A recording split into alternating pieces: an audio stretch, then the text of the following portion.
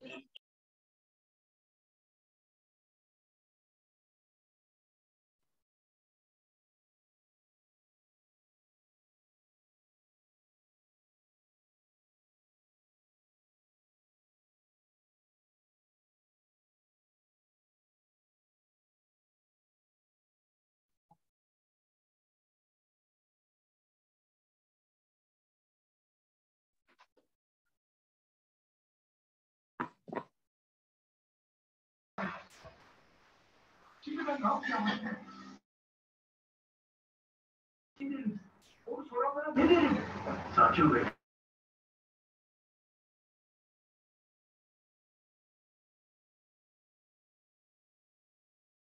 Nasıl iyi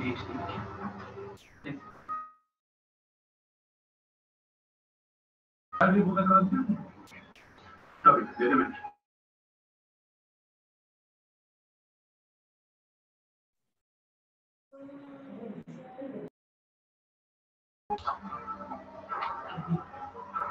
Acontece ao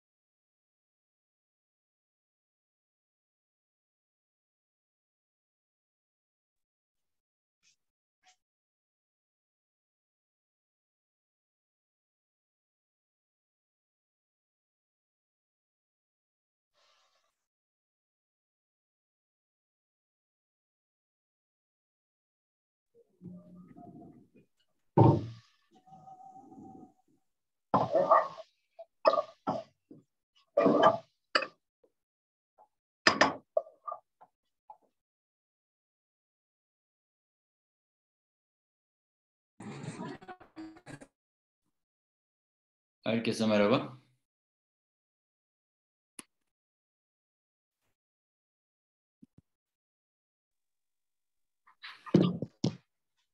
Yani mikrofon açmayı engelliyorum, sesi kısıyorum ama herkes sürekli e, mikrofon açıyor. Mikrofonlarınızı kapatırsanız güzel olur arkadaşlar. Merhaba, herkese merhaba. Eyvallah, ben de özlemişim. Vallahi uzun zamandır ders anlatmıyorum, o kadar ki. E, işler vardı.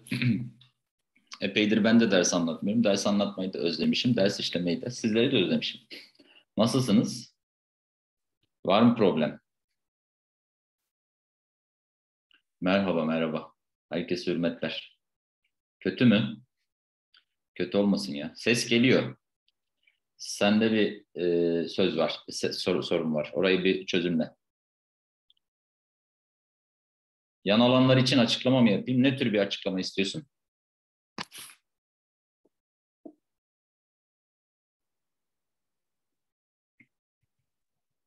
Eyvallah. Siyaset bilimi evet iyi. Özet olarak da böyle genel tekrar olarak da Yeni Bilim kanalındakini izleyebilirsiniz. Bundan sonra çok önermem ama düz bir şekilde devam edeyim. çok derin mi sorarlar siyaseti? Bilemiyorum. Yani hukuk gelecektir. Hukuk soruları gelecek.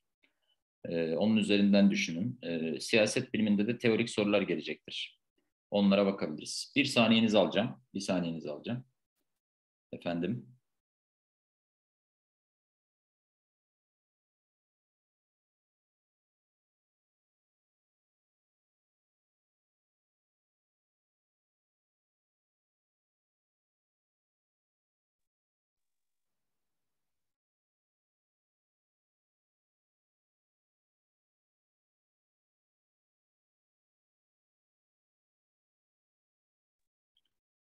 Evet. Şimdi antropoloji, bilim, toplum, sosyal bilimlerin temelleri mi çalışmalıyız diyor arkadaşımız. Ee, artık o geçti. Yani onun üzerine ne söylesem boş çünkü e, iki gün sonra sınavınız var yani. Ama e, orada şöyle bir şey var. Sosyal bilimlerin temelleri dediğimiz şey de, e, sosyal bilgilerin temelleri dediğimiz şey de çok kapsamlı biliyorsunuz. Onun içerisinde birçok ders var.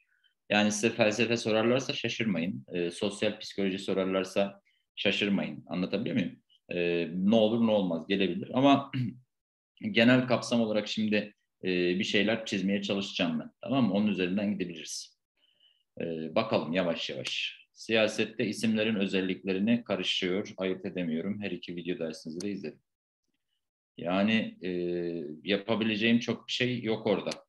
İsimleri karıştırıyor olman demek ki e, genel olarak bilgilerle ilgili bir problemin var. Yani teorisyenlerin ne söyledikleriyle ilgili bir e, fikrin olmadığını söyleyebiliriz. Neden kendini hiç yeterli hissetmiyorsun? Normaldir çünkü kapsamı çok geniş bir konudur. Nasıl çalışılacağını da bilmiyor olabilirsiniz. Ama bugün bunları konuşmamızın çok anlamı yok. Tamam Yani bugün bunları konuşmamızın çok anlamı yok. Keşke bunları sene başında konuşabilsek. Tamam Yani e, siz daha çok şöyle e, ilerliyorsunuz çünkü. Yani e, alana çalışırken özellikle. Ne kadar pratikse o kadar iyiymiş gibi geliyor. Burada e, benim öğrencilerim var. Yani e, süreci beraber yürüttüğümüz, benden ders alan arkadaşlarımız var. Onlara söylediğim şey şuydu. Başından beri hep onu söylüyorum. Biri eğer ki size bu işleri pratikleştirdiğini, bu işleri kolaylaştırdığını iddia ediyorsa size ayıp ediyor, yazık ediyor diyordum. Hep çünkü bu işlerin pratik bir yolu yok arkadaşlar. Tamam Yani bugün bunu söylemenin çok bir anlamı yok ama e, iki gün sonra işte pazar günü sınava gireceksiniz. Anlatabiliyor muyum? E, orada pratikleştirmeye çalışıyorsunuz. Mesela e, şöyle görüyorum ben işte e, nedir? E, 10 sayfalık notla siyaset çalışan arkadaş gördüm ben. Mesela 20 sayfalık notla efendim işte siyaset çalışan gördüm. Mesela 3 sayfalık notla 3 sayfalık notla alan eğitimi çalışanı gördüm. Bunlar böyle olmaz arkadaşlar. Pratikleştirdiğini iddia eden, kolaylaştırdığını iddia eden herkes size yazık ediyor. Hakkınızı yiyor bence. Ben e, pratikleştirdiğimi iddia etmiyorum hiçbir zaman. Öyle bir iddiam olmadı. Bunun kolay yolu budur gibi bir yönelimden izlemem.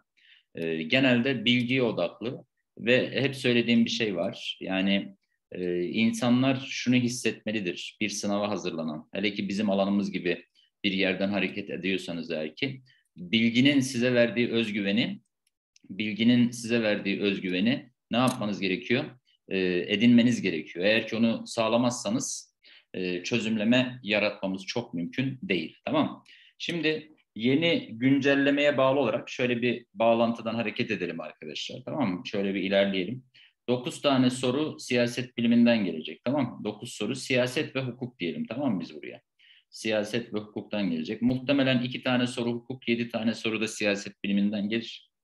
Burada siyaset bilimiyle ilgili kavramlara dikkat etmeniz lazım. Kavram soracaklardır. E, düşünür soracaklardır. Bu düşünürlerden e, gelecek sorulardan Biri ikisi klasik düşünürler olur. Bakın dikkat edin. Klasik düşünürler olur. Kimdir bunlar işte?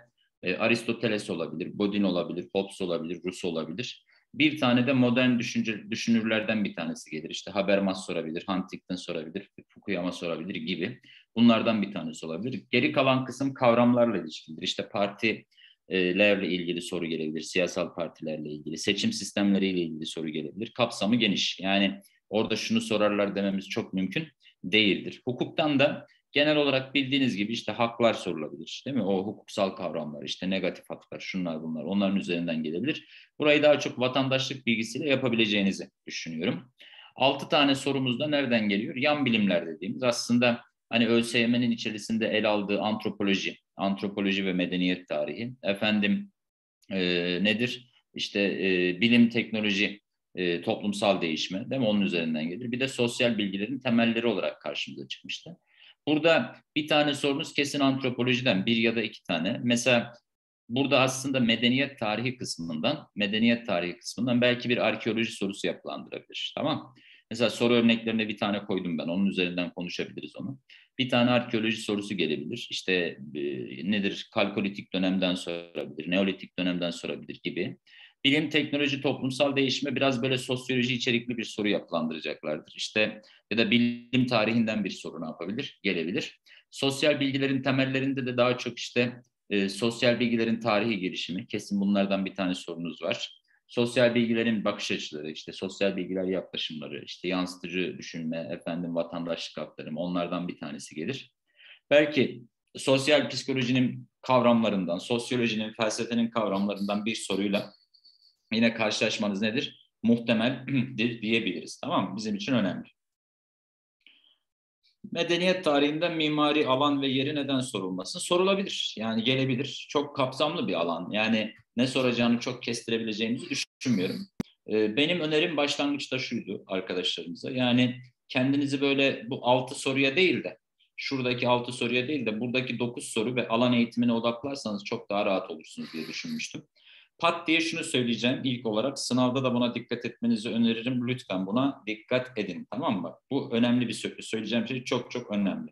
Şimdi şuradaki altı sorunun nereden geleceğini çok kestirmemiz mümkün değil tamam Siyaset biliminin içeriğine yine hakimiz. Yani buradan gelebilecek soruları aşağı yukarı kestirebilirsiniz. Ne soracağını tahayyül edebilirsiniz. Fakat burada işte arkadaşımızın söylediği şey işte medeniyet tarihinden yani mimari alan ve yeri neden sorulması gibi tamam Sorulabilir mi? Sorulabilir. Benim burada önerim size şu olur arkadaşlar. Dikkat etmenizde fayda var. Özellikle şuradaki altı soru için tamam Eğer ki fikir yürütemiyorsanız tamam bakın bunu çok defa söyledim. Bazı arkadaşlar hala bunu dikkate almıyorlar ama e, fikir yürütemiyorsanız, bunlar doğrudan bilgi sorusu olacağı için yorum yorum getiremiyorsanız arkadaşlarım o soruyu ne yapacaksınız? Boş bırakacaksınız. Tamam mı? Boş bırakacaksınız. Bu bizim için çok çok önemli bir ifade. Buna dikkat etmezseniz çuvallarsınız. Tamam mı? Buna dikkat etmezsen çuvallarsın. Ha, şimdi diyeceksin ki hocam orada altı tane soru var. Altı tanesini sallasam biri doğru gelse beşi yanlış çıksa. Beşi yanlış çıksa. Sen şunun doğru geleceğini biliyor musun? Bu bir. Tamam mı? Bunun doğru geleceğini biliyor musun? Bu bir. Aynı zamanda buradan biri, biri doğru beşi yanlış çıksa zaten buranın getireceği sana 0.75 yani. Anlatabiliyor muyum? Hiç e, temas etme, hiç dokunma daha iyi. Hiç temas etme, hiç dokunma daha iyi. Diğer tarafları daha iyi yapmanız gerekir çünkü. Eğer ki buna dikkat etmezseniz gerçekten sizi aşırı derecede ne yapar? Yorar arkadaşlar. Tamam mı? Bu aşırı derecede yorar sizi. Çünkü her yanlış yaptığınız soru 0.25'inizi yer. Bak bu önemli bir şeydir. Alımın ne olacağı belli değil. Tamam mı? Bak alımın ne olacağı belli değil. Kontenjan sayısının şu anda ne olacağı belli değil. Herkes aklına esen e, fikir yürütüyor. Şu kadar olur, bu kadar olur gibi yönelimler var. Umarım çok fazla olur. Tamam mı? Umarım çok fazla olur. Temel dileğim bunun üzerine odaklı. 2500, 3000, belki 5000 kişi alsınlar inşallah. Tamam mı? Ama bunun net olduğunu, bunun net bir şekilde olduğunu bilmediğimiz için az yanlışla çıkmanız lazım o sınavda. Tamam mı? Ne kadar az yanlış çıkarsanız o kadar iyi.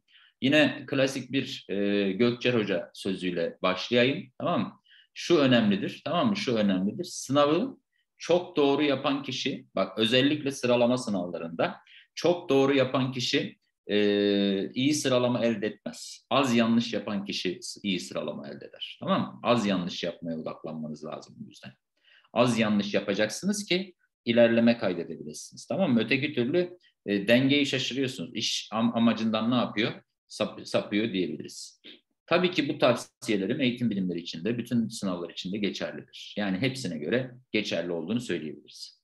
Şimdi sorulara geçeceğiz. Şöyle 30-40 tane siyaset bilimi, yan bilimler. Kalan kısımda da yaklaşık 30-40 tane de alan eğitimi sorusu çözeceğim size. Ee, özellikle kaçırmamanız gereken soru tiplerine yer verdim ben. Çünkü bunları oturtmuş olmanız gerekiyor. Bu soru tipleri ÖSYM'nin genel olarak hep ne yaptığı, sorduğu sorular üzerinden gelecektir. Gerekirse 20 boş bırakalım mı? Evet, gerekirse 20 boş bırak. 20 boş bırak, 55 tane doğrun olsun ya. Değil mi? 54 tane doğrun olsun, bir yanlışın gelsin. Anlatabiliyor muyum? Önemli olan bu zaten. Bak bir son örnekle gidelim. Esma yazmış. Hocam 61 doğru 14 yanlış yapmıştım. Ee, 62 doğru 12 yanlış yapsaydım şimdi atanmıştım. Evet. Ama orada şu da var mesela değil mi? 62 doğru değil de 62 doğru değil de yanlışın azalsaydı yanlışın azalsaydı yine ileriye giderdi gibi. Tamam mı? Önerilerim bunlar. Bunlara dikkat ederseniz bir problem çıkmaz diyebiliriz. Bir hocamız en fazla yedi boşunuz olsun risk alın dedi. Bana da çok mantıklı. Neyin riskini alıyorsun ya? Neyin riskini alıyorsun mesela? İnsan bilmediği şeyin riskini alır mı? Bak mesela işte son örnek olarak şöyle vereyim tamam mı? Son örnek vereceğim soruyu geçeceğim. Şimdi risk almak bahis oynamak gibi bir şey tamam mı? Bak bak dikkat et bahis oynamak gibi bir şey. Mesela hafta sonu Beşiktaş Fenerbahçe maçı var tamam mı? Heyecanla bekliyorum bir Beşiktaşlı olarak. İyi örnek vereceğim bakın size tamam mı? Heyecanla bekliyorum şimdi. Bu maçla ilgili öngörülebilir, yordanabilir şeyler yapabilirsiniz. Tamam. Bir bilgiye dayalı yapabilirsiniz bunu. Tamam Bir bilgiye dayalı yapabilirsiniz. Anlatabiliyor muyum? Bilgi üzerinden gidebilirsiniz. Yorum yapabilirsiniz. Mesela Yakup demiş ki Fenerbahçe kazanır. Onu bir bilgi temelinde söylüyor aslında. Tamam mı? Bir bilgi temelinde gerek oyun yapısı şu olarak bu olarak ne yapıyor? Burada iyi niyet falan ön plana çıkmaz. Yedi, minimum yedi tane boşunuz olsun ne demektir? Yani böyle bir öngörü, böyle bir öneri, böyle saçma bir şey olabilir mi? E, ben de diyorum ki 8 tane de boşluğun olabilir, 9 tane de boşluğun olabilir, 10 tane de boşluğun olabilir. Ben senin mesela 10 boş bırakan bir arkadaşınızın şu 65 sorusuna bakarım. O 65'te ne yapmış yani?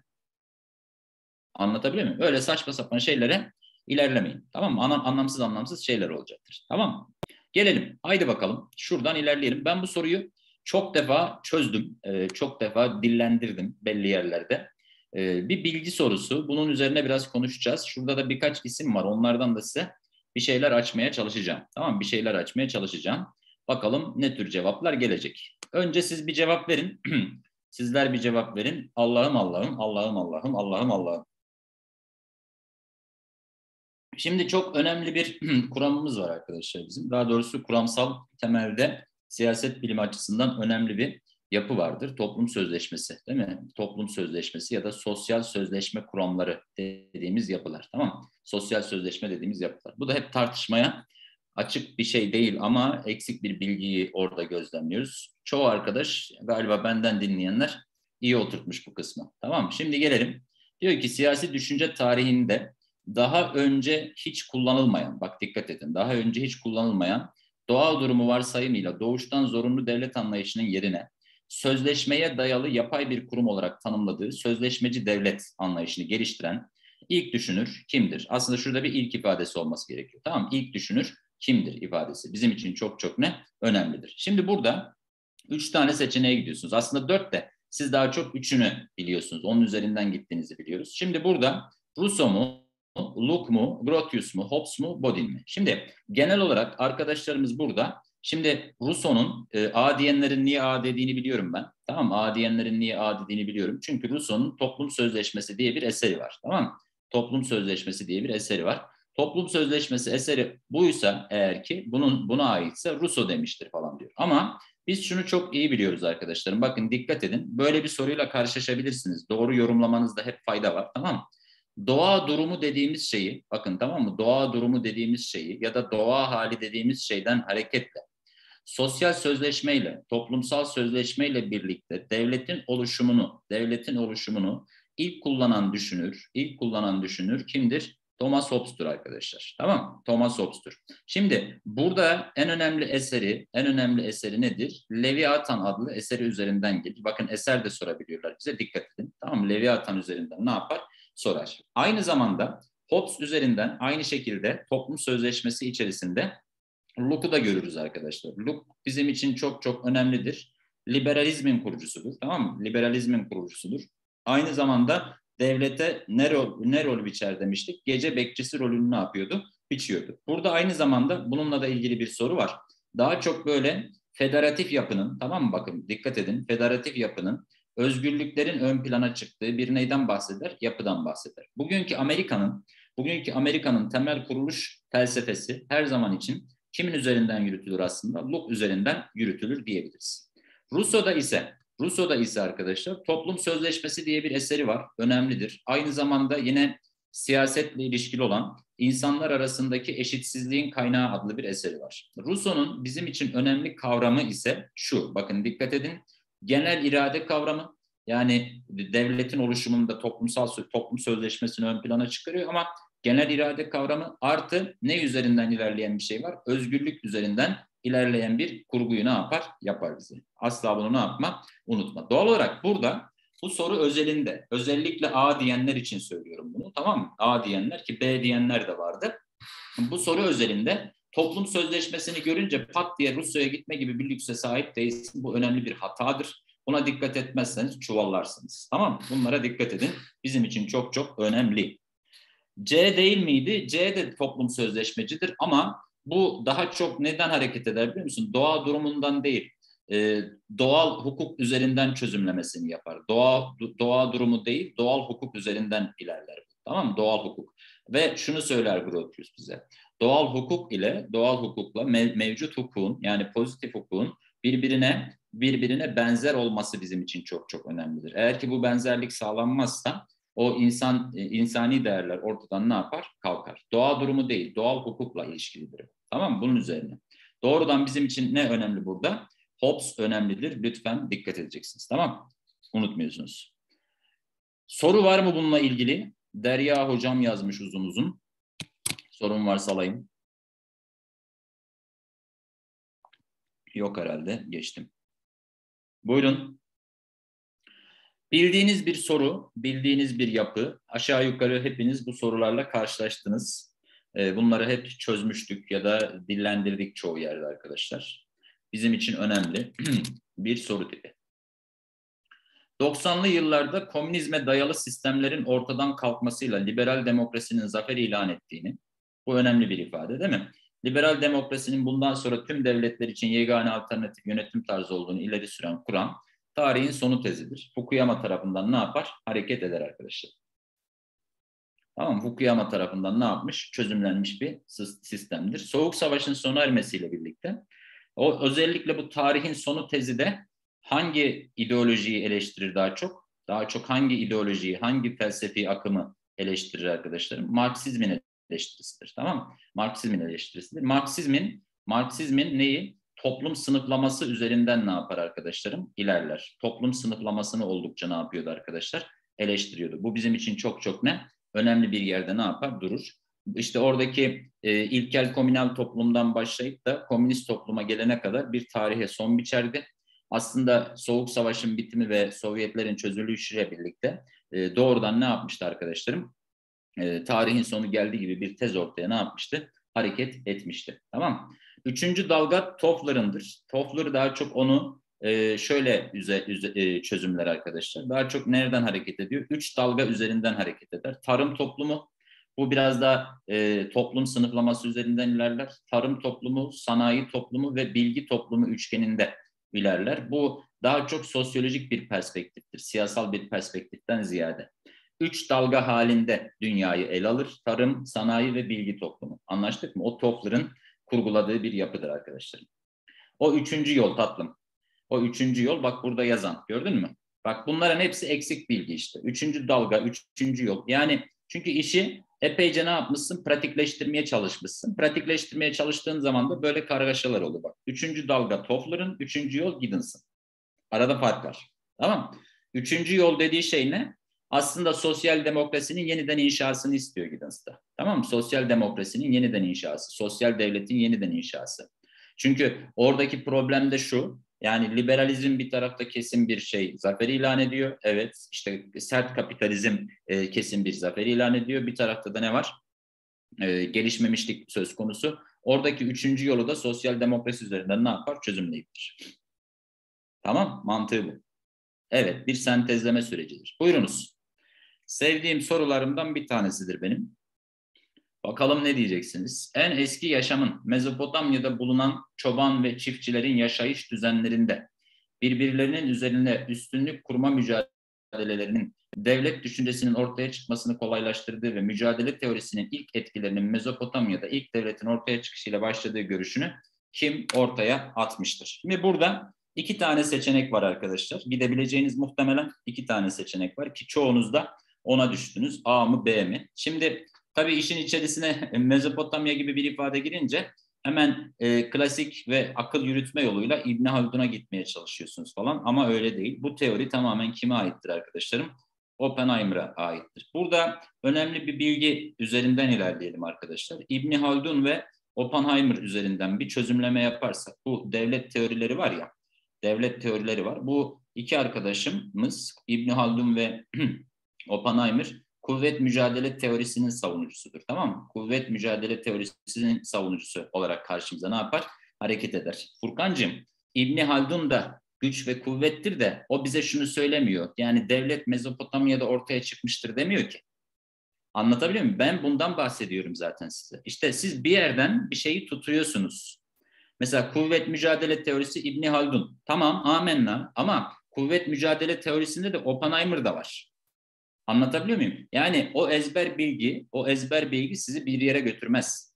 Anlatabiliyor muyum? Sınav öncesinde şu hatalarınızı gösterebilirsem size, en azından sınavda da bu tip sorularda bu hataları yapmamak için e, daha böyle temkinli, daha sağlıklı yaşar, e, yaklaşırsınız. Anlaştık mı?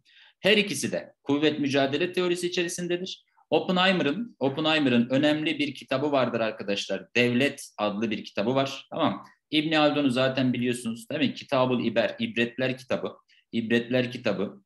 Yani onun da bir neydi? Giriş üzerinden ne yapan? ilerleyen bir şey vardı arkadaşlarım. Mukaddime değil mi? Giriş kısmı da onun üzerinden ne yapar? Çözümlenir. Tamam mı? Burada. Kuvvet mücadele teorisi gerçekten de şurada anlatıldığı şekliyle arkadaşlar. Birbirlerinin üstünde üstünlük kurma ve aynı zamanda devlet düşüncesinin ortaya çıkmasını sağlayan şey de bu üstünlük kurma çabasının olduğunu söyler. Hatta İbni Haldun'un bu bedevi, bedevi hadari toplum ayrımı söz konusudur ya. Mesela bedevi toplumlar, göçebe yaşayanlar yani hadarileri yerinden ederek, üstünlük kurarak, göçebe oldukları için daha savaşçı doğaları var. Üstünlük kurarak neyi sağlamışlardır? Medeniyeti, medeniyeti tanımışlardır ve böylelikle devletler daha da yaygınlaşmıştır algısı üzerinden gelir. Burada Oppenheimer'ın kurgusu ise yine aynı mantıkta. Fakat buradaki söylem şu, ona dikkat edin. Devletin Mezopotamya'da ortaya çıktığını, bu üstünlük aracılığıyla ortaya çıktığını kurgulayan kişi de kimdir? Oppenheimer'dır. Bunu lütfen ne yapmayın? Unutmayın. Bu bizim için çok çok önemlidir.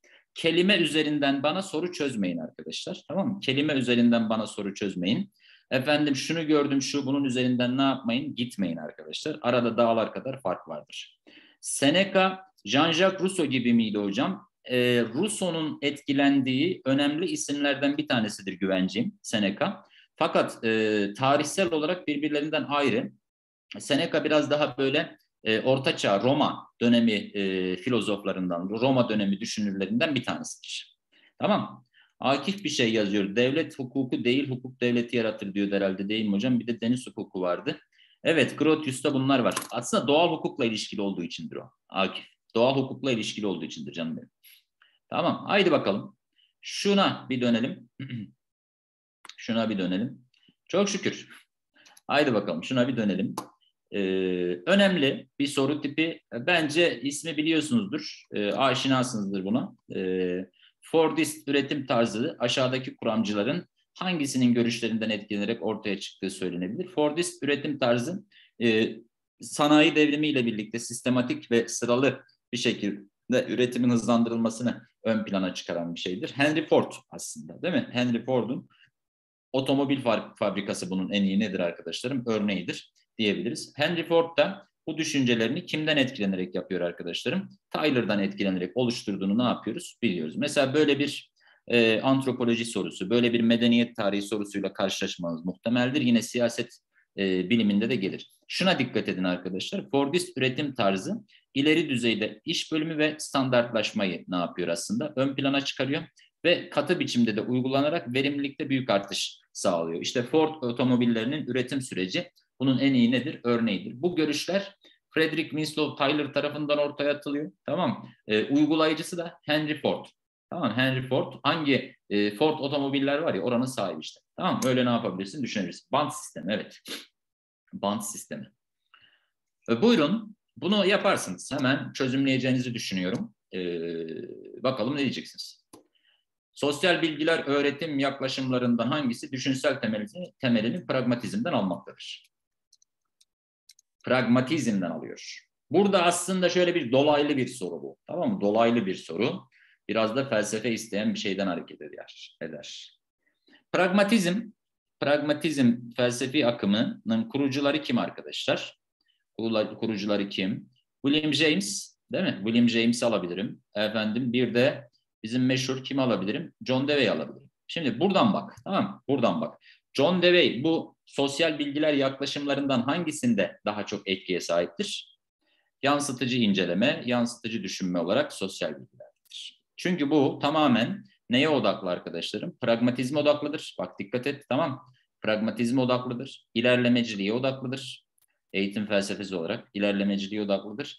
Problem çözme, değil mi? Problem çözme, araştırma becerilerinin gelişimine odaklıdır. Buna D edersen olmaz. Tamam Buna D edersen olmaz. Nasıl bir soru? Kötü bir soru mu mesela? B diyenler oldu, yazık ettiler, ayıp ediyorlar. B diyenler ayıp ediyorlar. Vatandaşlık aktarımı doğrudan esasicidir. Tamam Bu soruyu üç defa çözdün, üçünde de A'ya mı gittin? Kurban olam yapma. Sosyal bilim olarak sosyal bilgilerde kim vardır biliyor musunuz? Bunu da söyleyeceğim size. Brunner vardır daha çok. Brunner vardır. Yeni Sosyal Bilgiler Hareketi var ya, Yeni Sosyal Bilgiler Hareketi 1960'lı yıllardaki. O doğrudan neyle ilgili arkadaşlarım? Ee, sosyal bilim olarak sosyal bilgilerle ilişkilidir.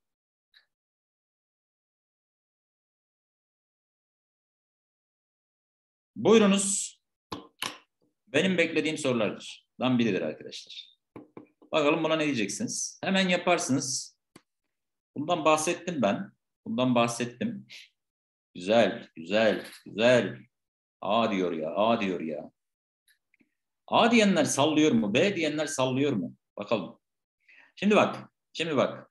Tamam dur, dur, dur, dur. Bir şey yazma, bir şey yazma, bir şey yazma. Bir şey yazma. Bir şey yazma. Şimdi buna B diyenler, B diyenler, B diyenlere soruyorum bak soruyu. B diyenler şuradan mı cevap çıkarmaya çalıştı? Mülkiyetin topluma ya da devlete ait olduğu ifadesinden mi gitti sosyalist toplum dedi? Bana bir artı eksi koyun lütfen. Mülkiyetin topluma ya da devlete ait olduğu ifadesinden mi gidip sosyalist toplum dedi? E o zaman niye komünist toplum demiyorsun? O zaman niye komünist toplum demiyorsun pardon? Değil mi? Çok anlamsız değil mi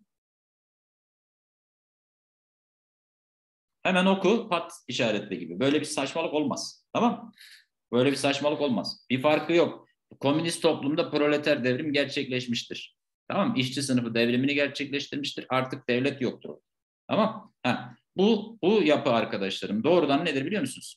Asya tipi üretim tarzıdır. Biz buna ne diyoruz arkadaşlar? Atüt diyoruz. Tamam Şimdi bak burada önemli. Bak burayı dinle bunun soru değeri var. Tamam Burayı dinle bunun soru değeri var. Çok önemli bilmiyorsunuz çünkü burada bir oturtmamız lazım. Evet tımar gibi tımar bunun bir örneği aslında Ramazan çok güzel fakat sadece Osmanlı üzerinden konuşmuyoruz. Şimdi bak Marx'ın toplum sınıflamasında iyi dinleyin arkadaşım tamam? Bak Marx'ın toplum sınıflamasında şöyle bir yapı vardır tamam? İlkel komünal toplum tamam? Bu zaten avcı toplayıcılıkla gerçekleştirilen görece eşitliğin olduğu hakim toplumlar üzerinden diyoruz değil mi? Sonra ne var? Köleci toplum değil mi? Köleci toplum. Sonra ne var? Bu kölecilikten neye geçiyoruz? Feodal topluma geçiyoruz. Feodal toplumdan neye geçiyoruz arkadaşlarım? Kapitalist topluma geçiyoruz değil mi? Kapitalist topluma geçiyoruz. Bak bu sıralamayı bil. Sonra efendim sosyalist topluma geçiyoruz değil mi? Sosyalist topluma geçiyoruz. En sonunda da komünist topluma geçiyoruz. Tamam Komünist topluma geçiyoruz. Fakat Marx'ın öngörüsünde, Marx'ın sınıflamasında arkadaşlarım bu sıralama, bu sıralama daha çok kim için? Batılı toplumlar içindir. Tamam mı? Batılı toplum ve devletler içindir. Batılı toplum ve devletler içindir. Mesela şuradan örnekleyebiliriz mesela bak. Bunu da buradan gidip Fukuyama'ya ve Huntington'a bağlayacağız birazdan. Şimdi buradaki temel mantık şu. Eğer ki diyor bu sıralamayı geçerse bu sıralamayı geçerek ne yapacaktır? İlerleyecektir. Ama burada önemli ölçüde bir şey var. Mesela Avrupa kapitalist toplumu yaşarken Avrupa kapitalist toplumu yaşarken e, e, Osmanlı, Rusya gibi toplumlar kapitalist değildi. Ama feodal da değillerdi bak. Tamam mı? Rusya ile Osmanlı feodal da değildi. İşte bu yüzden bu sınıflamaya yer bulamadığı için özellikle Rusya'yı, bakın dikkat edin bu örnekler önemli tamam mı? Rusya'yı ve de Osmanlı'yı arkadaşlarım hangi perspektiften değerlendirir? Atüt yani Asya tipi üretim tarzı üzerinden ne yapıyor arkadaşlarım? Değerlendirir. Tamam mı? Bizim için çok çok ne? Önemli bir yer yerde durur. Bu yüzden cevabımız nedir? Atüt olarak karşımıza ne yapar? Çıkar. Tamam Bizim için önemli. Hemen bir kapıya bakıp geleceğim. Pardon.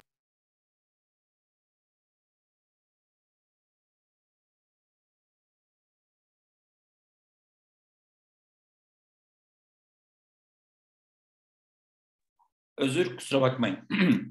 Şimdi burada da şöyle bir ayrıntı var tamam mı? Bu, bu tamam değil mi bak? Rusya ve Osmanlı e, Marx'ın sınıflamasında atüt diye geçer. Asya tipi üretim tarzı tamam? Bunu unutmuyorsun. Şimdi biraz önce o tarihin sonu dedik ya. Tarihin sonu. Bir arkadaşımız da sosyalist toplumla e, komünist toplumun farkı ne diye sormuştu. Sosyalist toplum arkadaşım bakın dikkat edin. Burada devletin devletin evet e, mülkiyeti aldığı ve aynı zamanda yönettiği yapıdır. Rusya örneği bunun örneğidir. Rusya komünist bir toplum değil, sosyalist bir toplumdu.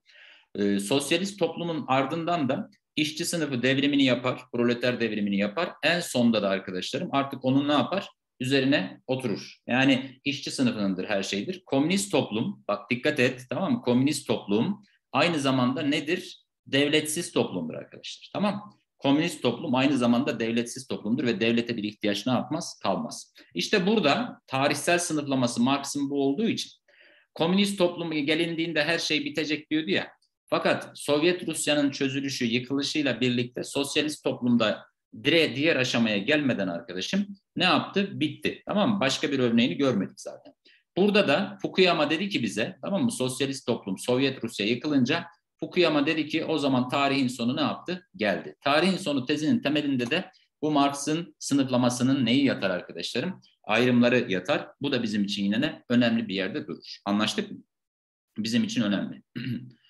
kolhoz, kolhoz dediğin şey sosyalist toplumun içerisindedir. Bak sosyalist toplumun içerisindedir. Ben burada ne örnek veriyorum? Rusya ile Osmanlı üzerinde veriyorum. Bak Sovyet Rusya'dan bahsetmiyorum ben. Çarlık Rusyası ya. Çarlık Rusya burası. Tamam Çarlık Rusya. Çok şey bilip, çok şey bilip o bilgiyi e, dağıtmakta üstünüze yok. Maşallahınız var. Buyurunuz. Buyurunuz. Böyle bir soruyla da karşılaşabilirsiniz yine. Biliyorsunuz postmodern teorileri falan da ne yapıyor arkadaşlarım? Soruyor bize. Postmodernizmi geniş bir kültürel mantık olarak kavramsallaştıran ve onu kapitalizmin ekonomik sistemiyle bağlantılarak kapitalist toplumun kapitalist toplumun e, okuyamadım bir an dur. Kültürel gelişimindeki bir aşama olarak e, gören kuramcı aşağıdakilerden hangisidir? Lyotard mı, Jameson mı, Habermas mı, Deleuze mü, Debord mı arkadaşım? Kimdir bu arkadaş? Şuradan bir teyit etmem lazım. Boş bırakma hakkını kullanıyorsun. Güzel. Boş bırakma hakkını kullanıyorsun. Burada aslında postmodernizmin kültürel mantığı eseri üzerinden ne yapabilirsiniz arkadaşlarım? Şöyle çevirebilirsiniz. Postmodernizmi geniş bir kültürel mantık olarak alan kişi, alan kişi kimdir? Frederick Jameson'dır arkadaşlar. Tamam Frederick Jameson üzerinden ne yapılabilir? Düşünülebilir. Sorunun cevabı bu yüzden Jameson. Ha burada e, neden Lyotard'a gittiniz onu anlamadım. Postmodern durum onun eserinin adı. Postmodern durum. Tamam Postmodern durum. Postmodern durum onun eseri. Bu da postmodernizmin kültürel mantığı diye geçer. Geç kapitalizmin kültürel mantığı. Tamam mı? O da Jameson üzerinden ne yapabilirsin? Odaklayabilirsin. Tek tanıdığın şık D ise, tek tanıdığın şık D ise demeyeceksin işte. Cevap üretmeyeceksin. Tamam Cevap D değilse mesela işte kamusal alandan, özel alandan bahsetmiyorsa eğer ki bize. Tamam mı? Efendim işte müzakereci demokrasiden bahsetmiyorsa eğer ki haberimaz demeyeceksin yani. Anlatabildim mi? Boş bırakman gereken soru bu işte. Böyle bir şeyle karşılaştığında diyeceksin ki boş. Anlatabiliyor muyum? Fikir yürütemiyorum. Yani burada tutup da C diyor arkadaş. Mesela Debord niye diyorsunuz? Niye Debord diyorsunuz? Niye Debord diyorsun? Ne biliyorsun mesela bunun hakkında? Ne biliyorsun da bunu cevap olarak işaretliyorsun. Niye yani? Tamam Ne biliyorsun onun hakkında? Debord'da da hangi kavramı görürsünüz arkadaşlar? Şöyle bir kavramla sorar sorarsın. Gösteri toplumu. Tamam Gösteri toplumu. Tamam mı? Debord'daki ön planda tutulan şey gösteri toplumudur. E, Habermas'ı da bize sorarsa arkadaşlarım, tamam Habermas'ı da bize sorarsa daha çok nereden sorar? Kamusal, özel alandan sorar. Kamusal özel alandan sorar. Çok sinirli gibi miyim? Meşrutiyet krizi, evet meşruiyet krizinden de sorar. Meşruiyet krizinden de sorar. Ne sinirli gibisi? Bana sinirli dedi Kübra. Bu sorular zor mu? Bilmiyorum. Bu sorular zor mu? Buyurunuz. Evet hocam çok sinirlisiniz diyor. Evet arkadaşlar çok sinirliyim. Kesinlikle çok sinirliyim.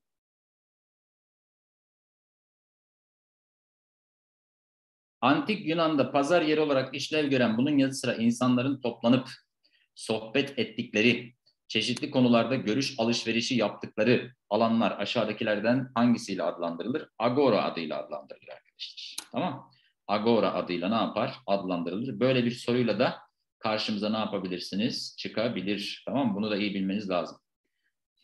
Tamam bizim için çok çok önemli. Aynen öyle bir tane güzel bir yorum gördüm. Antik Yunan'da agora, Roma'daki işlevi forum. Aynen öyle. Forum. Yani insanların orada ne yapması?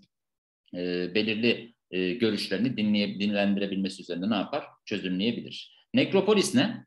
Me- Nekropolis neydi? Hatırlayın bakalım. Nekropolis. Ölü şehir. Yani e, nedir? Mezarlık değil mi? Akropolis ne?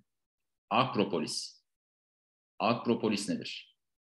Yüksek şehir değil mi? Yüksek şehir. Evet yüksek şehir. Çok güzel harika. Macellum ne? Macellum. Macellum. Daha çok ekonomik işlerin yürütüldüğü binalar. Tamam mı? Borsa binası gibi olarak ne yapılabilir? Kurgulanabilir arkadaşlar. Tamam mı? Borsa binası. Megaron. E, Macellum. Tamam mı? Bizim için çok çok ne? Önemli bir ifade. Bunları iyi biliniz. E, e, daha ön planda tutulacak şeyler bunlar çünkü.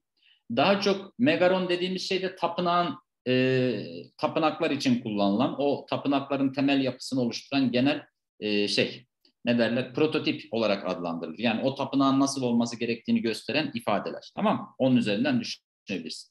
Mesela medeniyet tarihinde böyle bir soruyla karşımıza çıkabilir. Nekropolis'i sorabilir, Agora'yı sorabilir, Akropolis'i sorabilir. Tamam mı? Bunları bilirseniz güzel olur.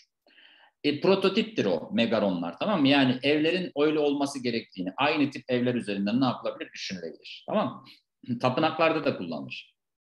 Tapınaklarda da kullanılır. Buyurunuz şuna bakın. Haydi bakalım. Şuna bir bakın. İnsanın kendini doğanın efendisi olarak değil, doğanın bir parçası olarak gördüğü toplumlarda doğaüstü varlıklar olan inancın, doğadaki tüm varlıkların canlı olduğunu ve bedenlerinden ayrı birer kişiliğe sahip oldukları düşüncesi hakimdir. Ee, yukarıdaki belirtilen görüş hangisiyle ilişkilidir? Genelde genelde neye tutuluyorsunuz? Bakalım animizm ve animalizm arasında gidip geliyorsunuz. Animizm mi animalizm mi? Animizm mi animalizm mi arkadaşlarım? Hangisi üzerinden gider? Animizm mi animalizm mi? Animalizm ne? Animalizm animalizm. Daha çok bunlar yine nerede görülüyor? Avcı toplayıcıda görülüyor değil mi? Hayvana tapma güzel. Aslında hayvana kutsaliyet atfetmedir. Tamam mı? Hayvana kutsaliyet atfetme üzerinden kurgulanır. Avcı toplayıcılarda görülen bir şey. Hayvanlarla mistik bir ilişki kurma. Yani ona bir kutsallık ne yapma? E, atfetme üzerinden gelir. Peki animizm ne? Animizm ne? Canlı olduğunu zaten. Şuradan ne yapabilirsin? Gidebilirsin. Tüm varlıkların, tüm varlıkların canlı olduğunu e, şu dondu benim kalemim bir saniye. Bir saniye. Heh. Doğadaki tüm varlıkların canlı olduğunu ve bedenlerden ayrı bir kişiliğe sahip olduğu düşüncesi hakimse orada neyi görüyoruz? Animizmi görürüz arkadaşlar. Tamam Bizim için çok çok önemli. Aynen özür dilerler çünkü kutsallık ön plandadır. Tamam Oradan çözümleyebiliriz.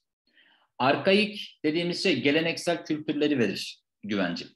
Geleneksel kültürel, ger, geri planda kalmış geri, geleneksel kültürleri verir. Kulayla ilgili soru var açıklayacağım. Tamam. Buyurun. Şöyle bir soruyla karşılaşabilirsiniz. Sosyal bilgilerin temellerinde. Böyle bir soruyla karşılaşmanız muhtemel. Bakın. 98 Sosyal Bilgiler Öğretim Programı dikkate alındığında 2005 Sosyal Bilgiler Öğretim Programı'nın yeni anlayışlara sahip olduğu görülmektedir. 2005'e göre. Tamam mı? Aşağıdakilerden hangisi 2005 Sosyal Bilgiler Programı'nın yeni anlayışa, yeni e, yeni bir anlayışa sahip olduğunun göstergelerinden biri değildir? Güzel okuyun arkadaşlar. Bak sonra bana sinirlisiniz diyorsunuz. Güzel okumuyorsunuz. Pat diye A diyorsunuz. Pat diye B diyorsunuz. Hepsini okumadan hepsini okumadan e, cevap üretiyorsunuz. Sonra ben sinirli oluyorum. Tamam Daha güzel okuyun. Sakin ve güzel okuyun. Tamam Sakin ve güzel okuyun. 2005 öğretim programı ilerlemeci eğitim bak değildir diyor değil mi? Biri değildir. 2005 öğretim programı ilerlemeci eğitim felsefesi temel alanlar hazırlanmış mıdır? Evet. Mesela buna A diyen oldu. Şimdi ben nasıl kızmayayım size? Hem ben size nasıl kızmayayım mesela? Buna A diyorlar. Anlatabiliyor muyum? Dikkatli okumuyorsunuz. Yani şu soru, şöyle bir soru gelse ve bunu e, kaçırsanız yazık değil mi yani? Yazık değil mi? El, elbette yazık. Değil mi? Ders kitaplarında sosyal olay ve değerlerin sunumunda en sık kullanılan yöntemlerin başında örnek olay incelemesinin olması. Mesela örnek olay incelemesi öğrenci merkezli olduğu için ön plandadır arkadaşlar. Tamam Bizim için çok önemli. Hayat problemleri ve çelişkili durumlarla karşılaştırarak sosyal problemler üzerinde yansıtıcı düşebilmeni sağlayabilmeli. Evet, değil mi?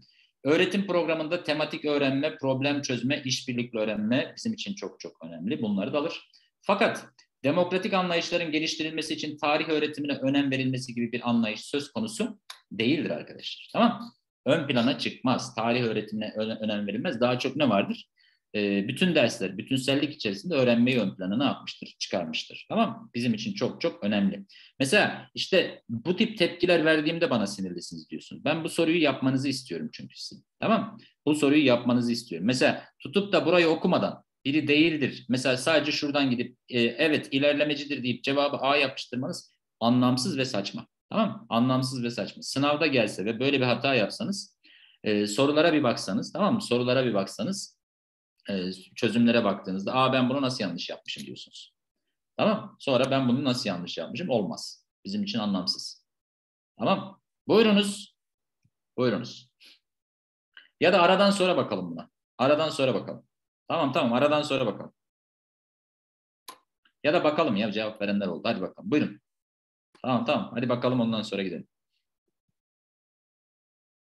Bunu sordu ÖSYM. Bunu sordu ÖSYM. Vakti zamanında farklı bir şekilde sordu.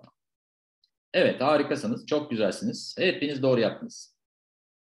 Hepiniz doğru yaptınız. Farklı bir cevap gelmedi. Farklı bir cevap gelmedi. Bu basitti. değil değil. Değil. Niye basit olsun? Bildiğin için basit sana. Tamam mı? İyisin.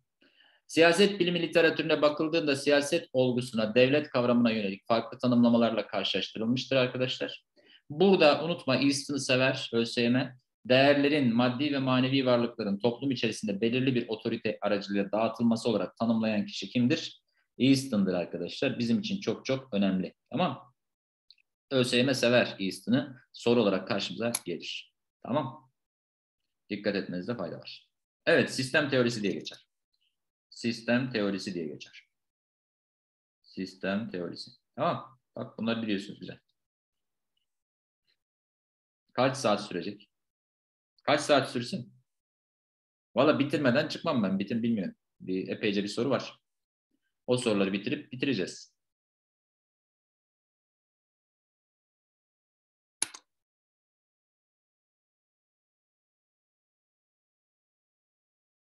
Tamam. Ara verdim.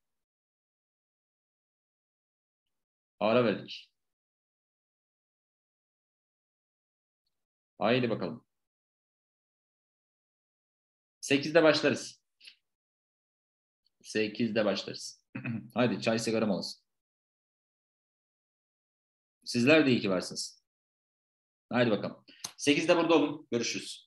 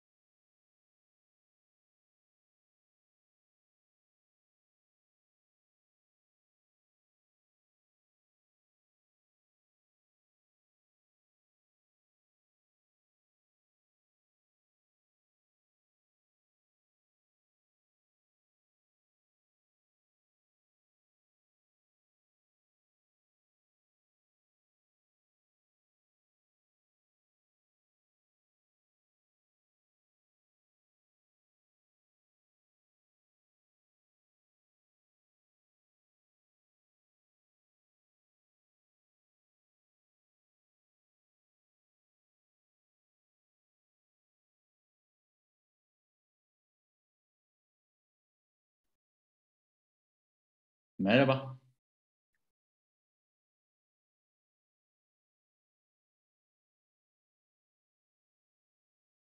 Ses geliyor mu Derya? Tamam. Derya yazmış da ses gelmiyor diye. Hadi bakalım başlayalım. Başlayalım beklemeyelim. Tamam haydi bakalım. Buyurunuz arkadaşlar. Buyurunuz. Biraz önce ismi geçti. Hemen yaparsınız bence. Hemen yaparsınız. Buyurun. Batı toplumlarını diğerlerinden ayıran temel özelliğin, Batı toplumlarını diğerlerinden ayıran temel özelliğin akılsılaş, akılsallaştırma yani aslında şöyle de denebilir bunu rasyonelite değil mi? Rasyonelite ve dünyanın büyüsünün bozulması olduğunu dile getiren ve bunun aynı zamanda gelişmiş Batı kapitalizminin görünür üstünlük ve egemenliğinin nedeni olarak yorumlayan düşünür Weber'dir arkadaşlar. Tamam mı? Weber'dir. Bak bu çok çok önemlidir. Burada şuna dikkat edin özellikle dünyanın büyüsünün bozulmasından bahsediyorsa ve aynı zamanda rasyoneliteden bahsediyorsa bizim için Weber ön plandadır. Ne vardı oradaki en önemli eseri? Protestan ahlakı, protestan ahlakı ve de neydi? Kapitalizmin ruhu değil mi? Kapitalizmin ruhu eserinde bundan ne yapar? Bahsederdi aslında. Dünyanın büyüsünün bozulmasını da protestanlıkla eşleştiriyor aslında. Öyle bir neyi var? Özelliği söz konusudur. Weber soru olarak gelebilir arkadaşlar. İdeal tiplerini biliniz. Tamam mı? İdeal tip kavramını biliniz. Bizim için önemli. Bürokrasi yine ön plandadır. Bürokrasi benzetmesi mühimdir. Bürokrasiye bir ifade kullanır. Bir metafor. Çelik kafes, demir kafes ifadesini kullanıyor. Önemli. Bir de otorite tipleri. İktidar ya da otorite tipleri üzerinden ne yapılabilir? Düşünülebilir. İşte geleneksel otorite, efendim işte e, karizmatik otorite ve de rasyonel, hukuksal otorite olmak üzere karşımıza ne yapabilir? Çıkabilir. Bizim için önemli. Bunların hepsinin soru değeri ön plandadır arkadaşlar. Tamam mı? Bizim için mühim. Bunlar, bunlara dikkat edersen e, dik, e, önemli ifadeler. En kısa demeyelim de Mehmetciğim, e, en istikrarsız diyelim. Tamam En istikrarsız karizmatiktir. Karizma gittikten sonra e, karizmanın rutinleşmesi diye bir kavramı vardır onun. Tamam Karizmanın rutinleşmesi. Karizma rutinleşince artık e, işlevini yitirir. Tamam Bizim için önemli. Ekran görünmüyorsa tekrar girip bir çıkış yap Feyza. Tamam Bir giriş bir çıkış yap. O normale döner. Buyurunuz. Benim sevdiğim sorularımdan bir tanesi. Ee, böyle bir soru da bekliyorum açık söyleyeyim arkadaşlar. Buyurun. Aşağıdaki düşünürlerden hangisinin görüşlerinin faşizmin ilham kaynakları arasında olduğu söylenemez. Tamam mı? Söylenemez. Bunu iyi bilin. Tamam mı? Bunu iyi bilin. Çok önemli. Tepkisel bir hareket olarak Birinci Dünya Savaşı'ndan sonra çıkmış olmasına rağmen faşistler için ilham kaynağı oluşturan önemli bir düşünce geleneğinin olduğu yatsınamaz diyoruz arkadaşlar. Bizim için çok çok önemlidir. Tamam mı? Bu soru tipi. Dikkat edin. Şimdi Platon insanları doğuştan arkadaşlar ayırır. Tamam mı? Mesela işte altın, gümüş, demir şekliyle ne yapıyor? Ayırıyor. Bizim için çok çok ne? Önemlidir. Bakın altın, gümüş, demir gibi e, ne, ne yapıyor? Derecelere, kategorilere ayırıyor. Hegel'de ise bu e, daha çok e, şey var ya devletin en üst e, şey olması, ide oluşu, e, ideal ruh değil mi? Bunun üzerine aşkın devlet anlayışını ön plana ne yapar? Tutar. Bu da aşkın devleti her şeyin üzerine odakladığı için faşizme bir düşünsel temel oluşturmuştur. Hobbes da e, biliyorsunuz Hobbes totalitarizmin savunucusu, savunucusudur arkadaşlarım. Totaliter bir yapıyı ön plana kurar. Yani devlet her şeye ne yapmalıdır? Odaklanmalı, devlet her şeyi kontrol altına almalıdır gibi bir bakış açısından hareket eder. Nietzsche'de de Nietzsche'de de üst insan e, anlayışı ön plandadır arkadaşlarım. Tamam mı? Üst insan e, ya da üstün e, e, insan anlayışı ön plandadır. Bu üst insan anlayışından hareketle de üstün ırk e, profili ortaya çıkmıştır arkadaşlarım. Burada Burke bizim için çok çok önemli bir isimdir. Bununla ilgili birazdan bir şey daha çözeceğiz. Burke hangi anlayışın kurucusu arkadaşlarım? Muhafazakarlığın kurucusu. Tamam mı? Muhafazakar anlayışın kurucusu. Bunun da önemli bir eseri var. Önemli bir eseri var arkadaşlarım. O da neydi? Fransız devrimi üzerine nedir? Düşünceler. Bizim için çok çok ne? Önemli bir eser. Bak bu soru olarak gelebilir. Dikkat edin. Fransız devrimi üzerine düşünceler dediği şey bir yapıdır. E, Burke muhafazakarlığın kurucusu olarak alınmasının nedeni bütün arkadaşlarım e, ne derler ona? Bütün e, Fransız devriminin getirdiği, Fransız devriminin idealize ettiği her şeye karşıdır geleneği e, ortadan ka- kaldırmaya yönelik olduğu için böyle bir bakış açısıyla muhafazakarlığın kurucusu ne yapar? Ön plana çıkar. Faşizm muhafazakarlığa kaynaklık etmez Ramazan. İkisi birbirinden farklı şeylerdir. Tamam Muhafazakarlık e, faşizm gibi katı değildir. Yani o şöyle bir şey aslında. E, biz muhafazakarlığı tam algılayamadığımız içindir. Muhafazakarlık sadece geleneğin korunmasına, e, geleneğin birikiminin korunmasına odaklı bir yapıdan hareket eder arkadaşlar. Tamam Bizim için önemlidir. Kendini yetersiz hissetmene e, gerek yok. Tamam Toplum sözleşmecidir diye faşizme karşı gelir diye düşündün. Evet o da onun en önemli çeldiricisi zaten Mehmetçiğim ama orada toplum sözleşmecisi de olsa toplum diyor ki Hobbes toplum e, kendi arasında bir sözleşme yaparak devleti en üst otoriteye taşır. Devlet her şeyin üstünde olmalıdır. Öteki türlü insanlar eskiye yine dönüş yapacaktır. Tamam mı? Onu önlemek için totaliter olmak zorundadır. Muhafazakarlık her türlü reforma karşıdır. Evet, her türlü reforma karşıdır. Evet, pragmatiktir muhafazakarlık. Muhafazakarlık pragmatiktir, yeniliğe karşı değildir. Geleneği korur. Risk toplumu, bu da e, benim iki yıldır beklediğim bir kavram. Risk toplumu kavramı önemli. E, ilk olarak aşağıdakilerden hangisi tarafından 21. yüzyılın toplum yapısını tanımlamak amacıyla kullanılmıştır? Unutmuyorsunuz arkadaşlarım, risk toplumu kavramı Ulrich Beck tarafından ortaya atılmıştır. Tamam Ulrich Beck tarafından ortaya atılmıştır. Bizim için çok çok ne? Önemli bir yerde durur. Tamam ee, Yani artık 21. yüzyıl, 21. yüzyıl risklerle e, yaşanacak bir yüzyıldır ve bunun adı bu yüzden risk toplumu olarak ne yapar? Algılanır diyebiliriz. E, Daniel Bell e, şu kavramla hareket eder. Bak bunları not alın. İdeolojinin sonu kavramı buna aittir. İdeolojiler bitmiştir. Aynı zamanda şunu ön planda tutar arkadaşlarım. Sanayi sonrası toplum. Sanayi sonrası toplumu da yine Daniel Bell'in ortaya attığını biliyoruz. Foucault'da e, kavramsal olarak daha çok gözetim toplumu ön planda tutar. Gözetim toplumu. Tamam Bak iyi bilin bunları. Ne olur ne olmaz sorar. Ya da şöyle de gelebiliyor arkadaşlarım. Panoptik toplum. Panoptik toplum panoptik toplum olarak da karşıma çıkabilir. Bir de evet biyo iktidar. Tamam mı? Biyo iktidar da bizim için önemli kavramlardır. Bunların hepsi Foucault ile ilişkilidir. Castells daha çok e, ağ toplumu kavramını kullanmıştır arkadaşlarım. Tamam? Ağ toplumunu ne yapmıştır? Kullanmıştır. Bu dijitalleşmeyle ilişkili bir bağlantı.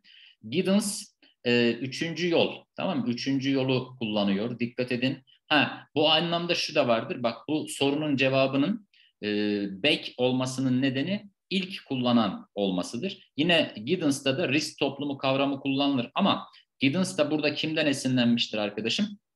Giddens da buradan yine Ulrich, Beck, Ulrich Beck'ten esinlendiğini ne yapmıyorsun? Unutmuyorsun. Tamam Bizim için çok çok önemli. Giddens e, üçüncü yol. Giddens üçüncü yol. Tamam mı? Castells A toplumu. Foucault gözetim toplumu, panoptik toplum, efendim e, aynı şekilde biyo iktidar kavramları. Daniel Bell e, ise daha çok ne? İdeolojinin sonu ve sanayi sonrası toplum üzerinden ne yapar? İlerler. Tamam, mantığı budur.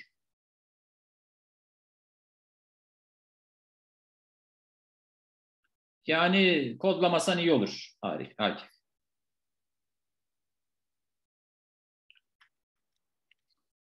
Bu teoriler ne zaman ortaya atılmış olabilir sence? Bu teoriler ne zaman ortaya atılmış olabilir sence? Sen sordun ben sana sorayım. Hadi bakalım Feyza.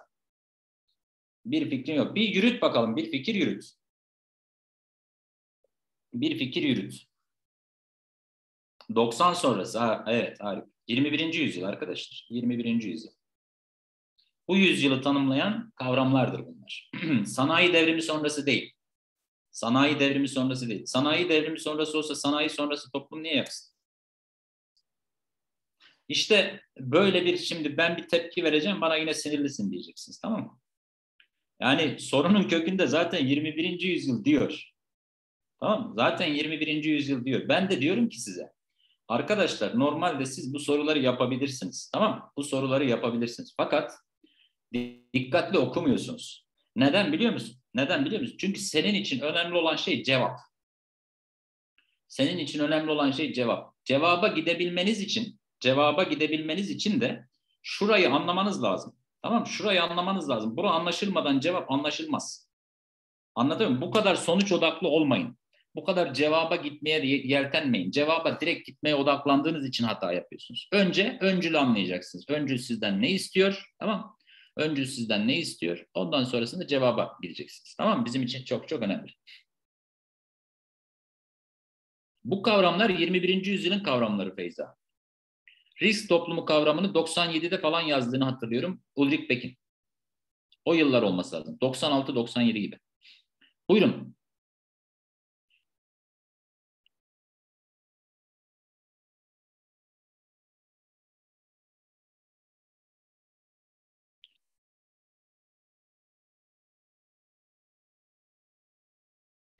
Evet, bu kavramın ne olduğunu biliyorsunuz arkadaşlar. Potlaç. Tamam Potlaç dediğimiz şey bu. Kula da hediyeleşme arkadaşlar. Tamam mı? Kula hediyeleşme üzerinden ne yapar? İlerler. Tamam mı? Hediyeleşme demektir o.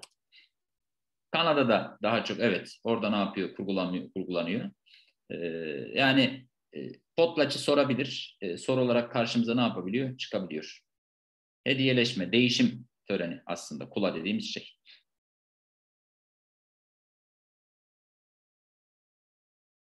Potlaç evet soruldu. Değil mi? Soruldu. Soruldu. Soru örneği var. Onlardan bahsederiz. Soru örnekleri geldikçe cevaplara odaklanırız. Buyurunuz. Bunu da e, tarih ÖABT'de sordular arkadaşlar. Tamam Tarih ÖABT'de sordular. Belki bize de gelebilir.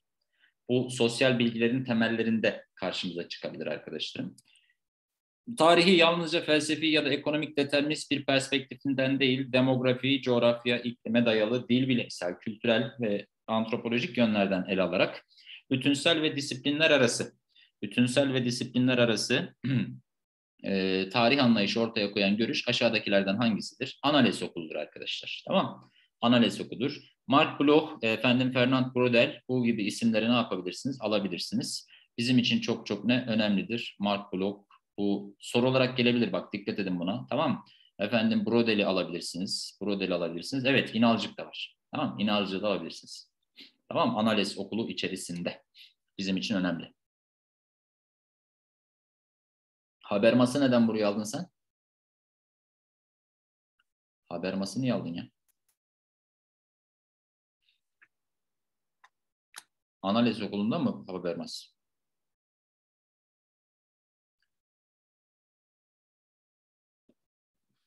Soru örneklerinde değineyim de biraz hızlanalım. Tamam Brodel, Brodel, Fernand Brodel.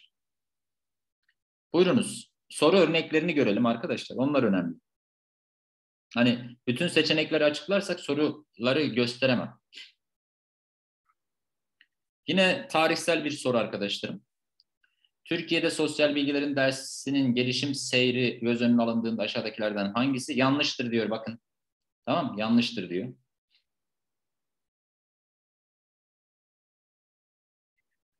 80 darbesinden sonra programda yapılan düzenlemeler milli, ulus gibi kavramlara dikkat çekilmiştir. Doğru mu? Artı eksi koyalım. Doğru değil mi?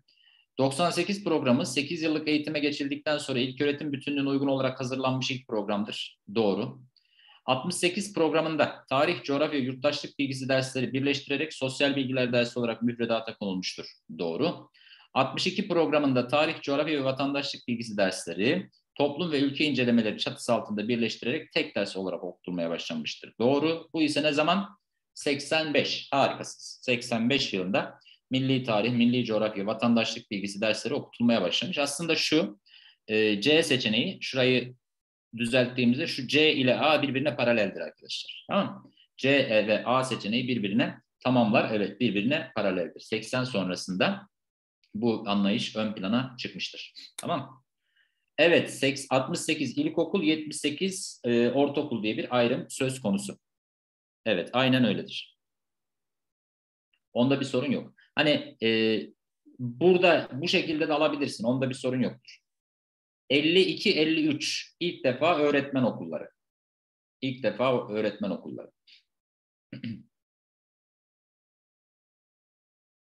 ...68 ilkokul, 75, 74-75 ortaokul işte.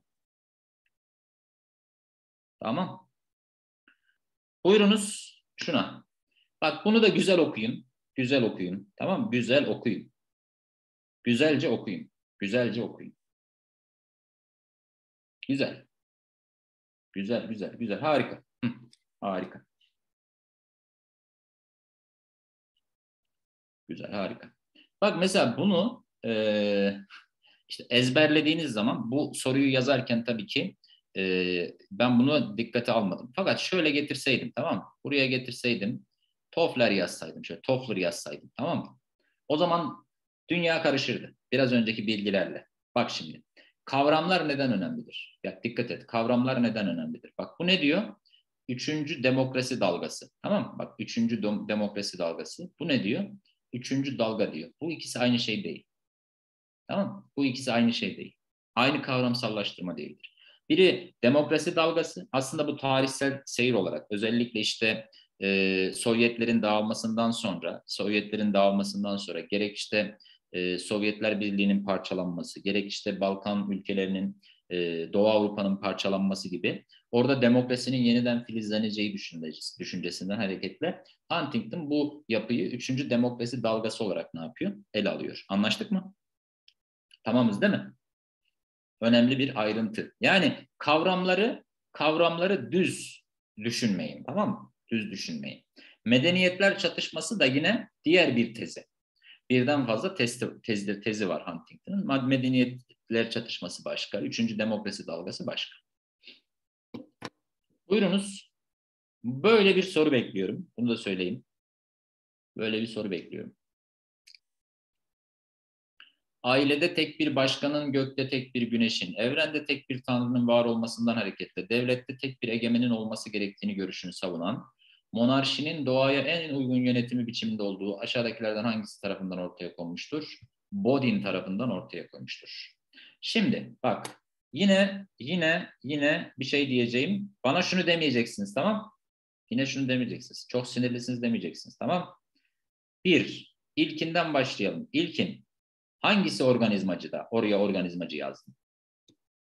Kim organizmacı burada?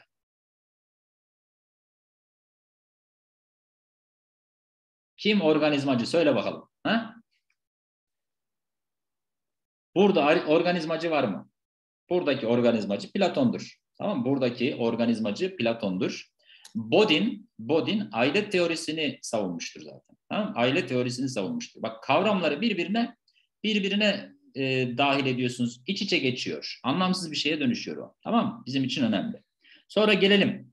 Bak gelelim. Şimdi açık yakalayacağım ben tamam mı? Ne tür cevaplar ürettiğinizi sizin zihninizi okuyorum ben tamam mı aslında buradan. Mesela buna B diyenler ve A diyenler. B ve A diyenler bak niye A diyorlar tamam mı? Bak niye A dediklerini söyleyeyim mi? Şuradan hareket ediyor tamam mı? Gökte tek bir güneşin, evrende tek bir tanrının işte olmasından hareketle de devlette tek bir egemenin olması üzerinden gidiyor ya mesela. Ya işte bu tanrısallık falan ön plana çıktığı için e, muhtemelen bir orta çağ düşündüğüdür. Augustinus ya da Thomas'tır deyip yapıştırıyorsunuz. Değil mi? Yapmayın öyle şeyler.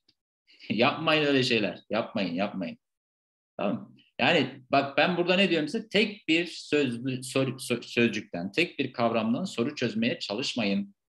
Tamam Tek bir kavramdan, tek bir sözcükten soru çözmeye çalışmayın. Siz bunu yaparsınız normalde. Tamam Siz bunu normalde yaparsınız ama acele ediyorsunuz. Sakin değilsiniz. Anlaştık mı? Augustinus'ta ne vardı? Yer devleti, gök devleti. Bu da soru olarak gelebilir. Dikkat edin. Yer devleti, gök devleti. Değil mi? Yani ön planda. Thomas'ta daha çok ön planda tuttuğu şey ne? Thomas'ın ee, yine aynı şekilde devletin tanrısallaştırması bizim için çok çok önemli. Tamam Platon e, biliyorsunuz o e, ütopik bir devlet algısını ortaya ne yapıyor arkadaşlarım? Çıkarıyor. Aristoteles daha çok işte polislerin üzerinden ne yapar? Çözümleme yapar. Bodin de şunu sordu. Hani devletin altı kitabı değil mi? Devletin altı kitabı üzerinden ne yapabilir? Gelebilir. Aynı zamanda egemenlik kavramından gelebilir arkadaşlar. Tamam mı? Egemenlik kavramından. Burada aslında şunu söylüyor bak. Ailede tek bir başkan, gökte tek bir güneş, evrende tek bir e, ne? E, tanrı. Egemenliğin aslında ne üzerinden geliyor? Ne üzerinden geliyor? Bölünemez olmasından geliyor. Tamam Bizim için önemli. Bunlara dikkat edin. Hata yapmayın. Evet, Thomas yasaları da ayırır. Doğru. Thomas yasaları da ayırır. Buyurun, çok sevdiğim bir soru. Böyle bir soruyla da karşılaşabilirsiniz. Bakalım ne diyeceksin. Lütfen güzel okuyun tamam mı? Güzelce, sakin sakin okuyun. Güzel ve sakin. Hadi bakalım.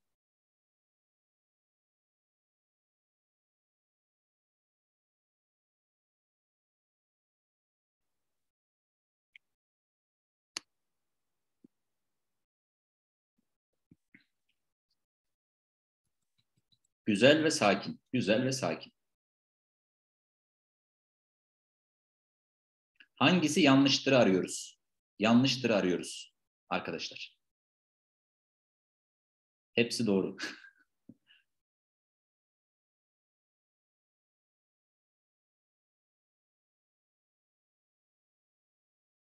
Şimdi A'dan başlayalım. Tamam A'dan başlayalım. Hadi şöyle dinleyin. Yanlıştır arıyoruz değil mi? Toplum sözleşmecilere göre.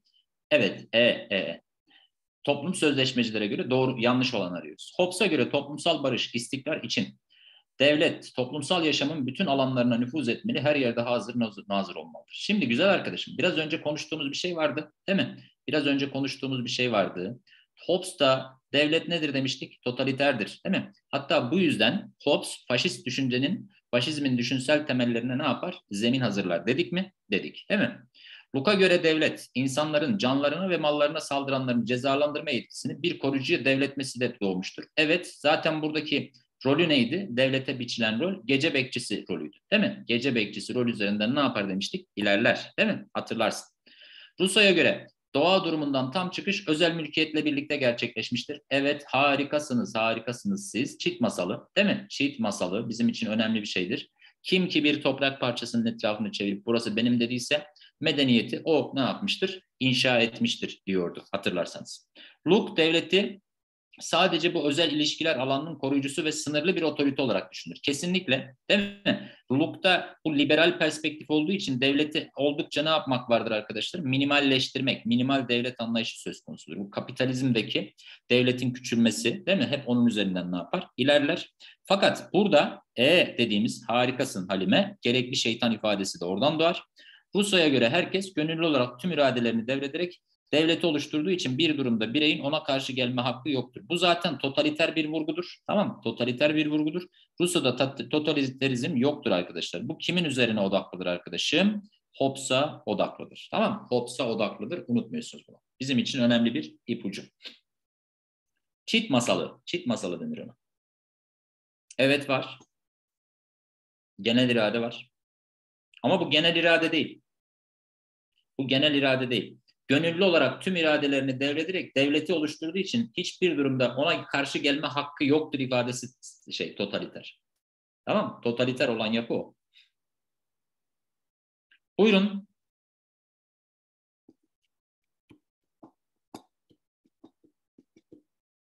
Buyurun şu soruya.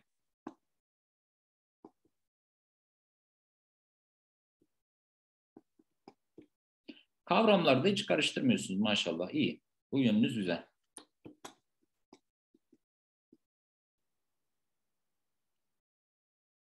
Bu yönünüz iyi, fena değil. Beğendim bunu. Biraz daha cevap üretin. Görmek istiyorum çünkü.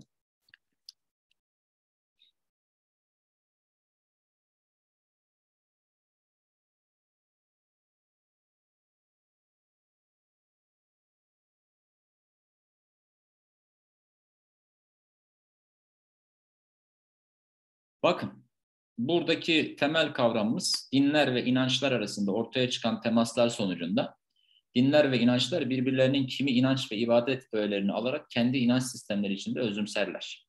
Tanrılar dinsel uygulamalar ve yorumlar ödünç alınabilir diyor. Biz buna ne diyoruz arkadaşlar? Senkretizm diyoruz. Tamam mı? Senkretizm dediğimiz bağlantı bizim için çok çok ne? Önemlidir. Evet, bağdaştırmacılık olarak da ne yapar? Geçer bizim için mühim bir ifadedir arkadaşlar.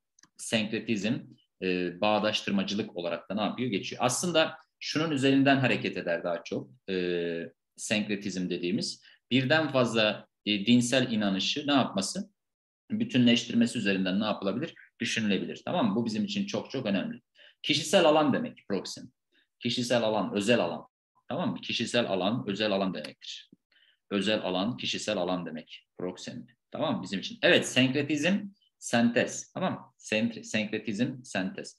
Bununla ilgili e, kim örneklenir biliyor musunuz? Hacı Bektaş Veli örneklenir mesela.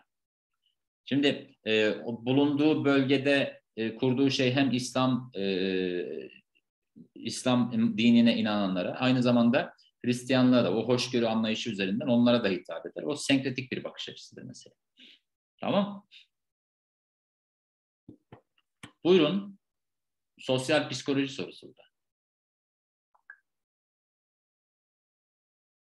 Güzel okuyun, güzel okuyun. Güzel okuyun. Kolektif bilinç Jung'a ait değil arkadaşlar. Durkheim'e ait bir kavramdır. Kolektif bilinç.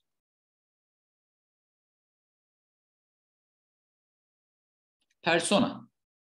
Persona dediği şey. Tam olarak bunun üzerine odaklıdır. Tamam. Toplumun kendisinden beklenenlere uygun davranma eğilimi vardır insanda diyor. Tutkulu, bencil ve saldırgan çocuk büyüdükçe bunlardan kendini kurtarır ama bunlar asla yok olmazlar. Kişinin içinde yaşamaya devam ederler. Bu durum bireyin dış dünya ile ilişkilerinde uyum sağlaması ya da başa çıkabilmesini sağlar. Persona. Tamam ee, aynı zamanda bu şeydir, kendini maskeleme üzerinden de düşünülebilir. Maske evet, hemen Ümmü Gülsüm yazdı. Günlük maskelerdir. Eğer ki onlar takılmazsa arkadaşlarım o günlük maskeler gündelik yaşam içerisinde hayatla baş etmenizde oldukça ne yapacaktır? Zorlaşacaktır. Tamam mı? Mesela şu an bendeki maske ne? Öğretmen maskesi mesela gibi. Normalde böyle biri değilim ama öğretmen olarak gel geliyorum gibi. Öyle düşünebilirsiniz. Tamam mı? Mantığı bu. Buyurunuz. Yaparsınız bunu ya hemen.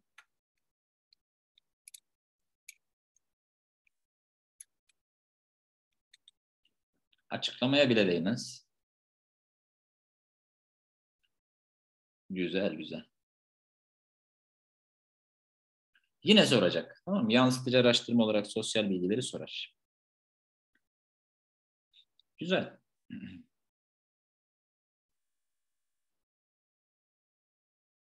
Buna bakın.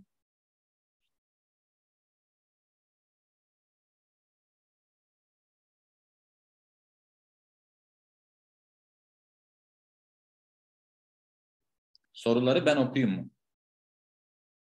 Biri öyle yazmış da. Tamam okuyayım. Temel olarak bireyin yaşamının tüm yönleriyle ilgilenen, bireylere ekonomik ve sosyal imkanlarla ulaşmada eşit şans tanıyan, vatandaşlarına asgari bir yaşam standartı sağlayan devlet yapısı aşağıdakilerden hangisiyle açıklanmaktadır? Şimdi buna sosyalist devlet diyenler var, demokratik devlet diyen var, minimal devlet diyen var, bir komünist devlet diyen görmedim. Yani bunun cevabı elbette ki refah devletidir arkadaşlar. Refah devleti ya da diğer adıyla ne? Diğer adıyla ne arkadaşlar? Sosyal devlettir değil mi? Refah devleti ya da sosyal devlet olarak karşımıza ne yapar? Çıkar.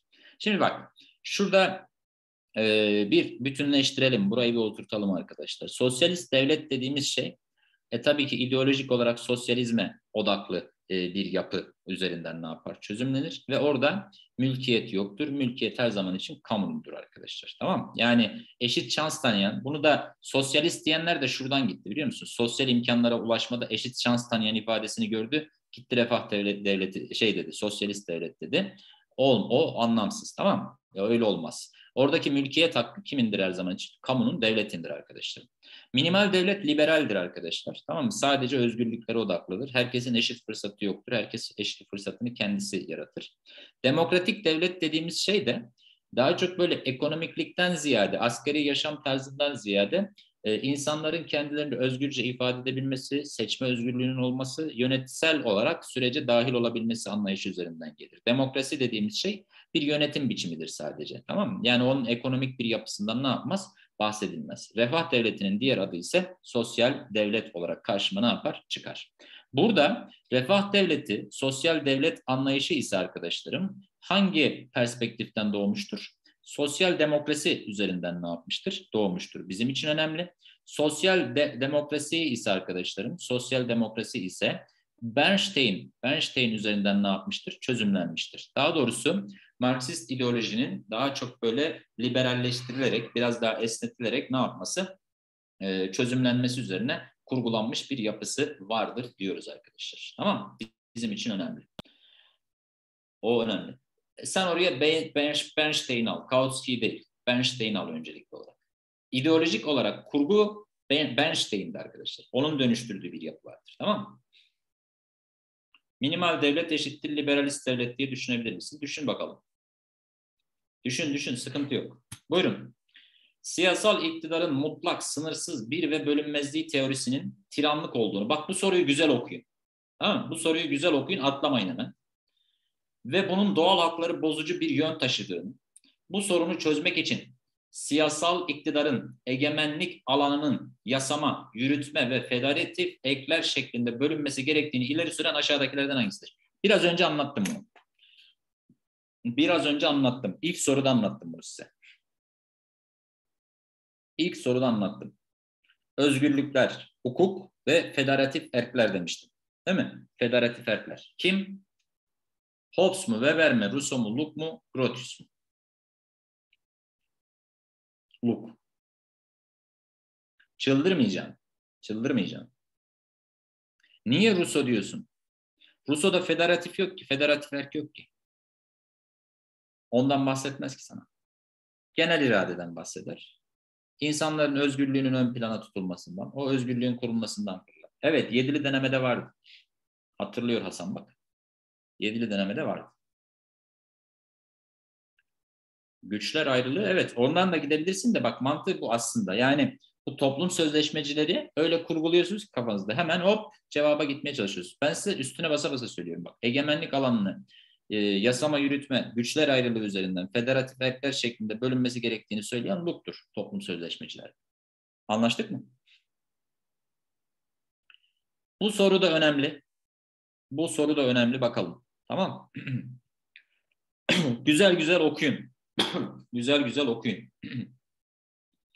Muhafazakarlığın düşünsel kaynakları ile ilgili aşağıdaki verilen bilgilerden hangisi yanlıştır?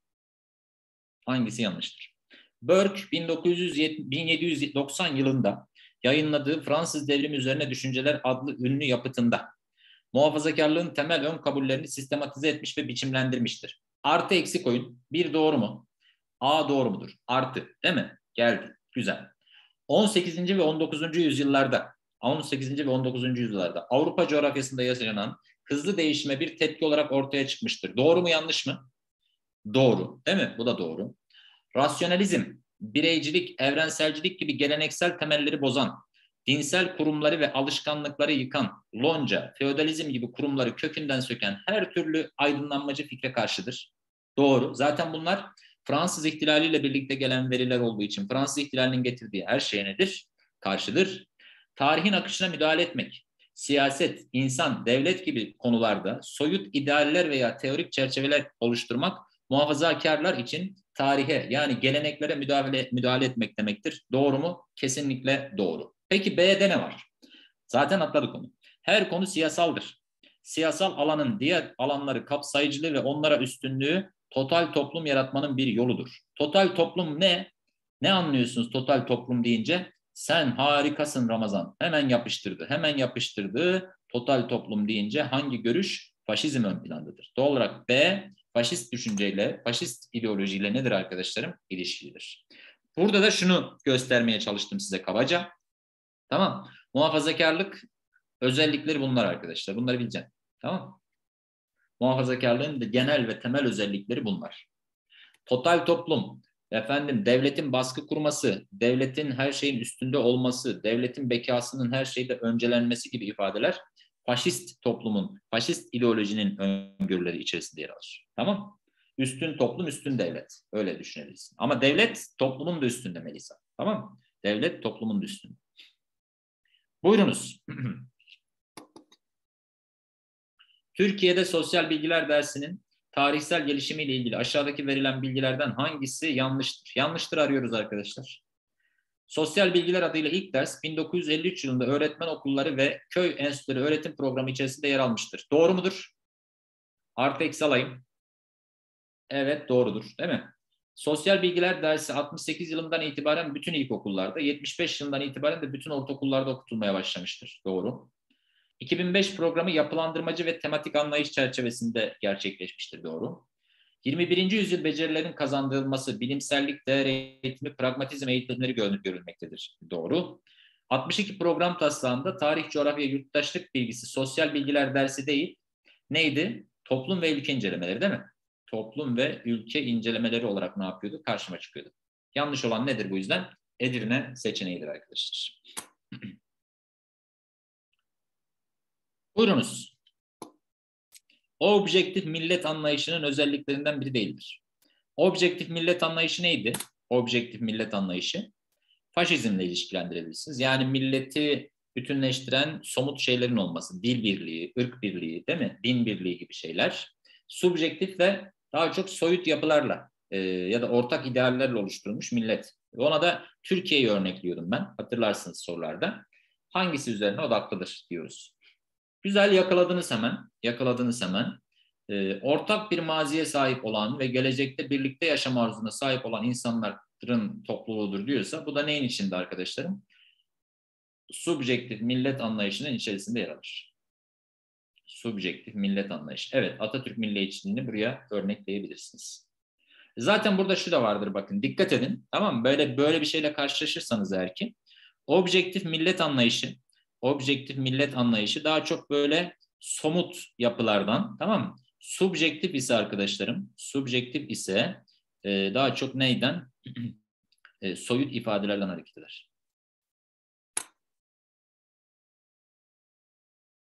Yani bazı kaynaklar onu 52 alıyor, bazı kaynaklar 53 alıyor. Çok önemli değil o.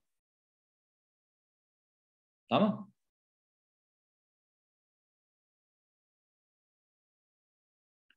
Buyurunuz. Buyurunuz. 40'lı ve 50'li yıllarda sosyal bilgiler programlarında tarih ve coğrafya ağırlıklı ağırlık kazanmıştır. 60 ve 70'li yıllarda ise sosyal bilgilere gelen ağır değiştirmeler yeni sosyal bilgiler hareketini ortaya çıkarmıştır. Yeni sosyal bilgiler hareketinin ortaya çıkmasında aşağıdakilerden hangisinin etkili olduğu söylenebilir. O da kim arkadaşlarım? Brunner. Bunu iyi bilin. Tamam Bunu iyi bilin. Yeni sosyal bilgiler hareketi doğrudan Brunner'e odaklıdır. Tamam Brunner'e odaklıdır bir. Buluş yoluna odaklıdır iki. Tamam bak buluş yoluna odaklıdır iki. Tüme varım kullanılır. Tüme varım kullanılır üç. Bir de bu yeni sosyal bilgiler hareketi aslında e, sosyal bilim olarak sosyal bilgilerin de temelidir arkadaşlar. Sosyal bilim olarak sosyal bilgiler anlayışında temelidir. Sosyal bilgiler anlayışında temelinde yer aldığını ne yapma? Unutma. Çünkü orada da hani e, sosyal bilimlerin yöntemleriyle öğrencilerin bilgiye ulaşması ön plana konuluyordu hatırlarsanız. O yüzden o özelliğini de unutmayınız. John Dewey pragmatizm bilgiler arkadaşlar. İlerlemecilik. tamam A diyenler. Bunu çözmüşüzdür.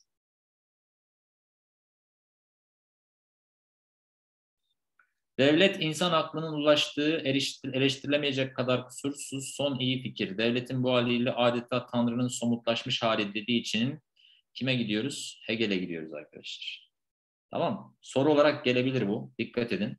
Aşkın devlet anlayışıdır. Tamam Aşkın devlet anlayışıdır. Buradan hareketle de Hegel'in metafizik teoriyi benimsediğini söyleriz. Dikkat edin. Metafizik teoriyi benimsediğini ne yapıyoruz? Söylüyoruz. Bizim için önemli. Mesela buradaki çeldirici de şunlara dikkat et. Augustinus Thomas. Tanrı'nın somutlaşmış hali deyince akla hemen orta çağ geliyor. Dikkat edin ona. Yine benim beklediğim kuramcılardan bir tanesi. Belki karşılaşmamışsınızdır. Karşılaşmadıysanız üzülmeyin, canınızı sıkmayın. Evet, güzel. Bazı arkadaşlarımızdan güzel cevaplar geliyor. Harika, harika, çok hoş. Dünya sistem teorisine göre Modern dünya sistemi merkez, çevre ve yarı çevre unsurlarının bir araya gelmesinden oluşur. Dünya sistemi tek tek devletlerin toplamı değil, bunların ilişkilerinin bütünüdür diyorsa, burada önemli olan şey kim arkadaşım? Dünya sistem teorisi. Tamam mı? Dünya sistem teorisi. Modern dünya sistemi diye de geçer arkadaşlar. Bu teori tamamen Wallerstein tarafından, Wallerstein tarafından ortaya atılmıştır. Merkez, çevre ve yarı çevre üzerinden ne yapar? Kurgulanır. Mesela merkez Avrupa'dır, çevre Türkiye'dir gibi. Tamam mı? Bunun üzerinden ne yapılabilir? Kurgulanabilir. Modern dünya sistemi ya da dünya sistem teorisi diyorsa hep Wallerstein aklınıza gelsin. Samiramin bağımlılık kuramı üzerinden hareket eder arkadaşlar. Bağımlılık kuramı. Tamam Muhafazakar mı? Bilmiyorum. Yani öyle bir genelleme hiç okumadım hayatımda. Muhafazakar mı olduğunu duydun Tuğba bir yerden? Wallerstein muhafazakar mıymış? Bilmiyorum ben Marksist diye biliyorum kendisini. Kendisi Marksist yani. Muhafazakar değil. Yok yani ben okumadım. Şurada bir yerde vardır evdeki kitaplıkta Wallerstein kitabı da hiç muhafazakar olduğunu hatırlamıyorum yani. Buyurunuz. Hangisi Neolitik kültürle birlikte yaşanan değişimler arasında gösterilemez? Neolitikle ilgili gösterilemez. Öyle kitaplarına takılma. Kitap sormaz Wallerstein'dan.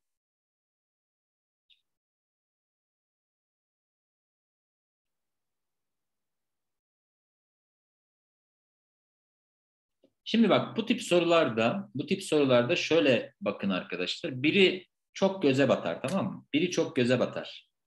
Birbiriyle benzeyen seçenekler varsa onları eleyebilirsiniz. Öyle çözün bir bakayım.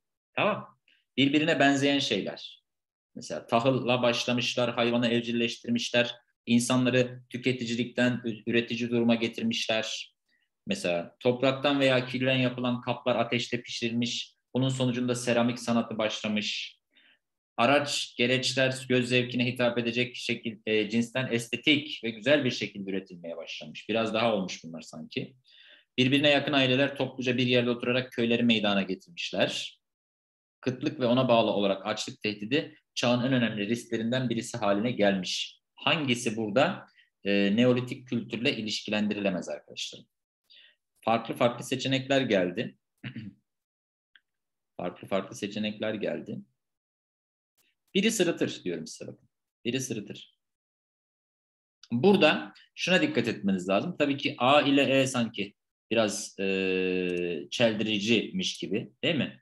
E, ön plana tutuluyor ama Neolitik dönemde daha çok böyle estetik ön planda değildir arkadaşlar. İş görsün yeter. Tamam İş görsün yeter. Mesela e, Akpınarlı demiş ki e, tarım var, kıtlık olmaz herhalde gibi e, ön plana e, çıkarmış mesela. Ama şu da var. Mesela e, hayvan evcilleştirilmesi, hayvan evcilleştirilmesi, insanların onları e, tüketime odaklanması kıtlığın da başlangıcı olarak karşımıza aslında çıkar. Buradaki ana eksen Ceyhan seçeneğidir. Estetik sonraki iş. Estetik sonraki iştir. Kalkolitik dönem, dönemsel olarak. Tamam Kalkolitik dönem, estetik sonraki iş. Orada sırıtan şeyin estetik olduğunu görmeniz lazımdı. Tabii kurgu olarak şöyle düşündünüz, o da var. İşte tarım varsa kıtlık olmaz. Ama şu da var bak, dikkat et. Üretim olduğu için aslında üretim ve evcilleştirme e, arttığı için kıtlık tehlikesi başlıyor. Anlatabiliyor muyum? üretim ve e, evcilleştirme arttığı için kıtlık tehlikesi ne yapar? Başlar. Artı ürün var. Kıtlık niye giriyor? Mesela şu an dünyada kıtlık tehlikesi var mı? Şu an dünyada kıtlık tehlikesi var mı? Var. Nasıl yok? Olmaz olur mu? Artı ürün var ama değil mi? Nüfus artıyor, evcilleştirme var değil mi? Evcilleştirme var. Yani e, üretim başladığı için aslında kıtlık tehlikesi var. Daha fazla üretmek zorundasınız gibi. Anlatabiliyor muyum? Oradan bakacaksınız. Buyurun. Ara vereceğiz. Şunlar bitsin de. En son buğday meselesi vardı. Doğru diyorsun. Yani kıtlık üretimle birlikte, nüfus artışı ve evcilleşmeyle birlikte artan bir şeydir arkadaşlar. Biraz önce söyledim bunu da size. Sosyal demokrasinin temelleri Bernstein tarafından ortaya atılmıştır arkadaşlar. Tamam. Evet, mülkiyet hırsızlığı, mülkiyet hırsızlıktır diyordu. Proudhon anarşist arkadaşlar. Proudhon anarşist. Tamam. Buyurun. Güzel sorulardan bir tanesi. Sosyal devletle ilgili bir soru gelecektir bu sene. Böyle bir beklentim var. 1929 ekonomik krizi ve iki büyük dünya savaşının yol açtığı bunalım nedeniyle ortaya çıkmıştır. İkinci Dünya Savaşı'ndan sonra batılı devletlerin birçoğunda uygulama alanı bulmuştur. 70'lerden itibaren yeni sağın güç kazanması ve neoliberal politikaların neticesinde gerilemiştir. Evet, bunların 1, 2 ve 3'ü de doğrudur arkadaşlar. Üçü de doğru ifadelerden yer alır. Neden A diyorsunuz? A doğru zaten de. İkinci Dünya Savaşı'ndan sonra batılı devletlerin çoğunda uygulama alanı buldu arkadaşlar. İngiltere, Fransa, hepsinde Almanya, hepsinde uygulama alanı buldu. 70'li yıllarda e, Margaret Thatcher'ın e, neoliberal politikalarıyla birlikte İngiltere'de başlangıç olarak artık gözden düştü ve dünyada artık e, sosyal devlet anlayışının çok bir anlamı kalmadı. Sadece anayasalarda yazıyor ama kimse umursamıyor. Tamam mı? Bu yüzden üçü de doğrudur.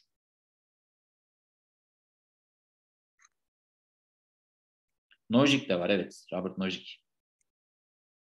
Keynesyen ekonomi. Evet Keynesyen ekonomi daha çok ön. Bunu yaparsınız ya. Yöneten seçkinler ve kitleler arasında yetenekli unsurların dolaşımını, dolaşım demiş zaten. Değil mi? Elitler dolaşımı. E, toplumsal istikrara bağlayan mevcut seçkinlerin aralarına yeni yetenekli üyeleri almadıklarında dolaşım sürecinin aksamasından bahsediyorsa orada her zaman Pareto vardır arkadaşlar. Elitler dolaşımı. Tamam mı? Elitler dolaşımı teorisi.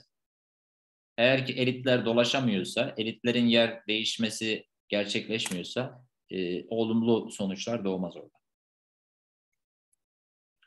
Evet, elit teorileriyle ilgili problem yaşıyorsanız YouTube'daki videoları izleyebilirsiniz arkadaşlar.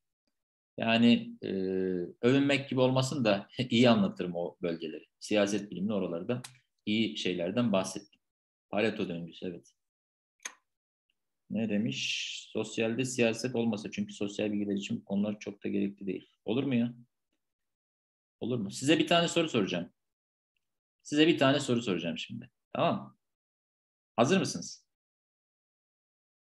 Alan eğitimini benden dinleyenler, e, alan eğitimini benden dinleyenler yapar. Şimdi bak, Sosyal Bilgiler Öğretim Programı, 2018 Sosyal Bilgiler Öğretim Programı. Şimdi bizim için önemli tamam mı? Sosyal Bilgiler Öğretim Programı. Ağırlıklı olarak, ağırlıklı olarak hangi disiplin, hangi disiplinle ilişkilidir? Hangi disiplinle ilişkilidir? Sosyoloji ve siyaset bilimi. Değil mi? Çok güzel. Harikasın. Sosyoloji ve siyaset bilimiyle ilişkili. Bak burada önemli olan şey bu işte. Yani siyaset çok da gerekli değil diye yazmıştı ya arkadaşımız. E, zaten program sosyoloji ve siyasetle ilişkili olduğu için e, asli şeyler bunlar aslında. Konularımız. Tamam mı?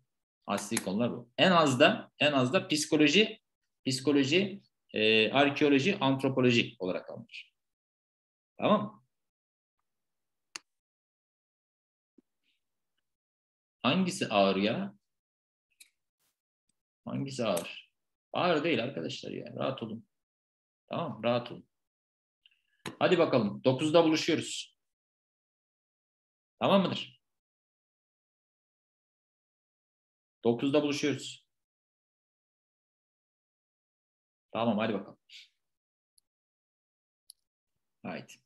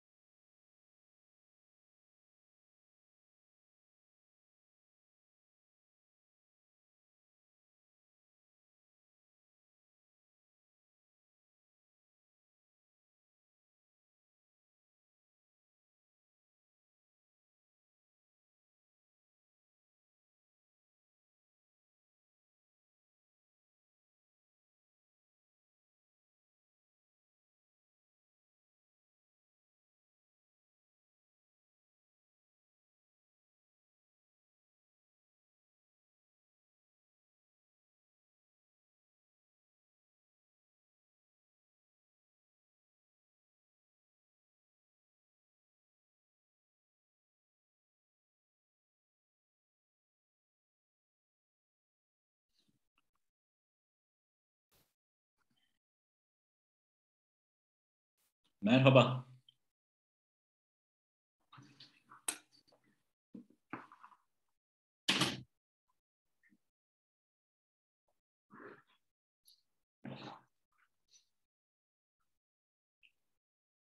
Orada mısınız?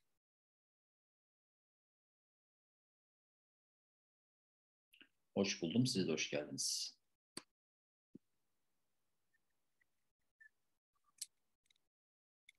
Alan eğitim biraz daha hızlı ilerler. Üzerine konuşacak çok şey yok. Yani bakacağız şimdi. Fazla vakit kaybetmeden başlayalım. Buyurunuz. Hemen yapacağınız, yapmanız gereken bir soru arkadaşlar. Hemen yapmanız gereken bir soru. Hangisi 2018 2018 yılında yayınlanan sosyal bilgiler dersi öğretim programında yer alan öğrenme alanlarından biri değildir? Birey ve toplum var mı? Evet. Kültür ve miras, bilim, teknoloji, toplum, üretim, dağıtım, tüketim, zaman süreklilik, değişim. Hangisinde bu? 2005'te. Tamam 2005 programında var. Zaman süreklilik, değişim, öğrenme alanı ile ilgili şunu biliniz arkadaşlarım. 2005 programında tüm öğrenme alanlarını kapsar. Tamam Tüm öğrenme alanlarını ne yapar? Kapsayan bir yapısı vardır. Tamam Bizim için çok çok önemli bir yapısı var. 2005 öğretim programında tüm öğrenme alanlarını kapsayan bir özelliğe sahiptir. Tamam Bizim için mühim. Bunlara dikkat ederseniz iyi olur. İlk sorumuz bu zaten. Evet Anılcan ilk sorumuz canım benim. ilk sorumuz buydu. Kolay bir soruydu. Buyurunuz. Yine basit, hemen rahatlıkla çözümleyebileceğiniz bir soru. Hemen basit. Çok güzel, çok güzel. Bak böyle sorular geliyor arkadaşlar. Tamam Böyle sorular geliyor. Okur yazarlık becerilerinden biri değildir. Bilgi okur yazarlığı diye bir okur yazarlık becerimiz nedir arkadaşlar? Yoktur bizim. Politik okur yazarlık var, hukuk var, finansal var, çevre okur yazarlığı var, dijital okur yazarlık var değil mi? Dijital okur yazarlık var, medya okur yazarlığı var. Evet, değil mi? Medya okur yazarlığı var. Hukuk okur yazarlığı ne? Var, değil mi? Bizim için önemli. Hukuk okur yazarlığı ne? Var. Bunlar çok çok ne? Mühim okur yazarlık becerileri. Hukuk öz okur yazarlığı, hukuk okur yazarlığı en son eklenen beceridir arkadaşlar. Tamam En son eklenen beceridir. Unutmuyorsun. Bir de harita okur yazarlığı var. Evet, bunu da atlamayalım. Harita okur yazarlığı ne? Ön planda. Bunları unutmayın. Okur yazarlık becerileriyle ilgili soru gelecektir arkadaşlar. Tamam Hukuk okur yazarlığı da 2017 taslak programında yer almaz. Unutma. 2017 taslakta yok. Tamam Taslak programında yok.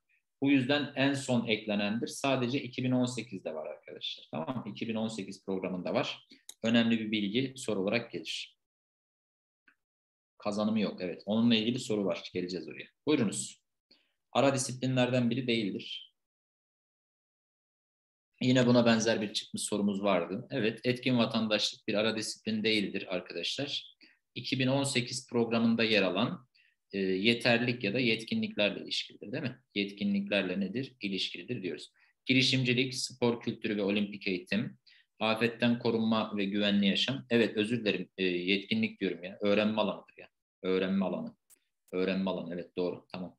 Afetten korunma ve güvenli yaşam, rehberlik ve psikolojik danışma. Aynı zamanda e, bunların hepsi birine ara disiplin. Ara disiplin kavramı e, şuradan hareket edelim arkadaşlar. Ara disiplin kavramı nerede yer almaz? 2018'de yok. Tamam 2018'de yok. Onları lütfen unutma.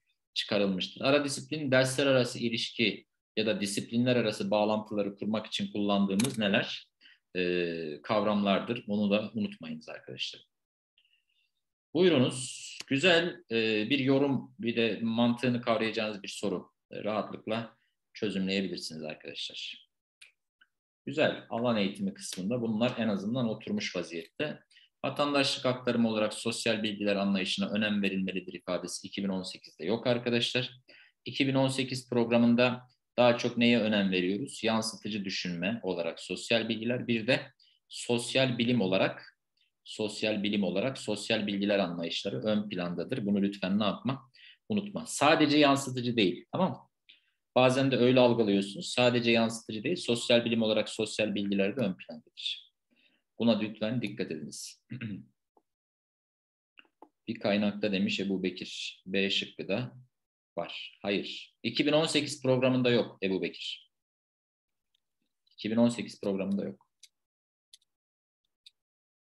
Evet öncüllü olarak sordular. Ben böyle değiştirdim onu. Tamam. Buyurunuz.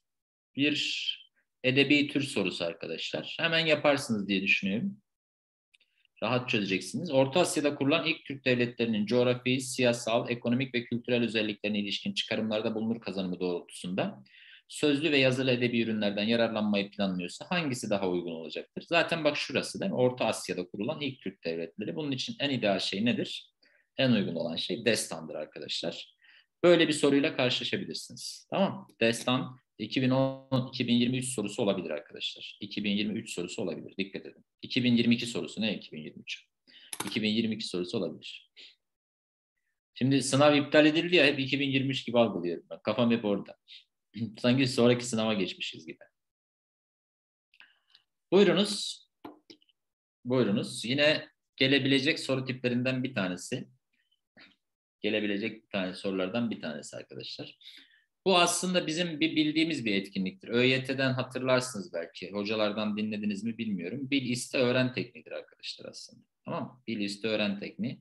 Bilmek, istemek, öğrenmek üzerinden ne yapar? Çözümlenir. KVL stratejisidir. Ne biliyorum, ne öğrendim, ne öğrenmek istiyorum, ne öğren ne öğrendim gibi kurgulanır. Herigbon'da daha çok tarihsel kişileri, yerleri belirlemede kullanılan o e, analiz etme üzerine kullanılan bir yapıdır arkadaşlar. Tamam Öyle çözümleyebiliriz. Balık kılçığı gibi evet. Evet, en sevdiğim sorulardan bir tanesi bu benim. Bakalım ne diyeceksiniz? Bakalım ne diyeceksiniz bu soruya.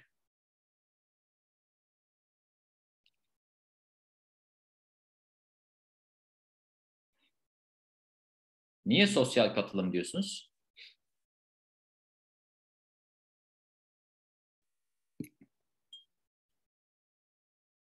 Politik okuryazarlıkla ilgili arkadaşlar. Bu kazanımlar tamam bizim için çok çok önemli.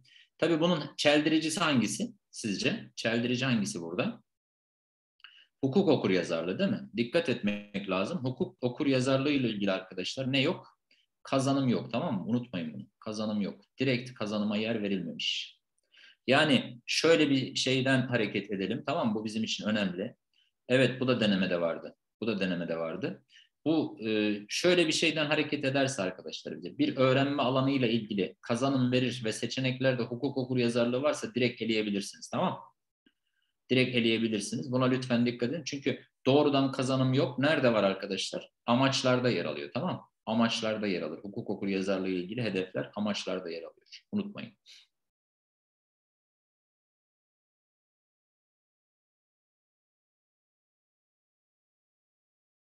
Buyurun.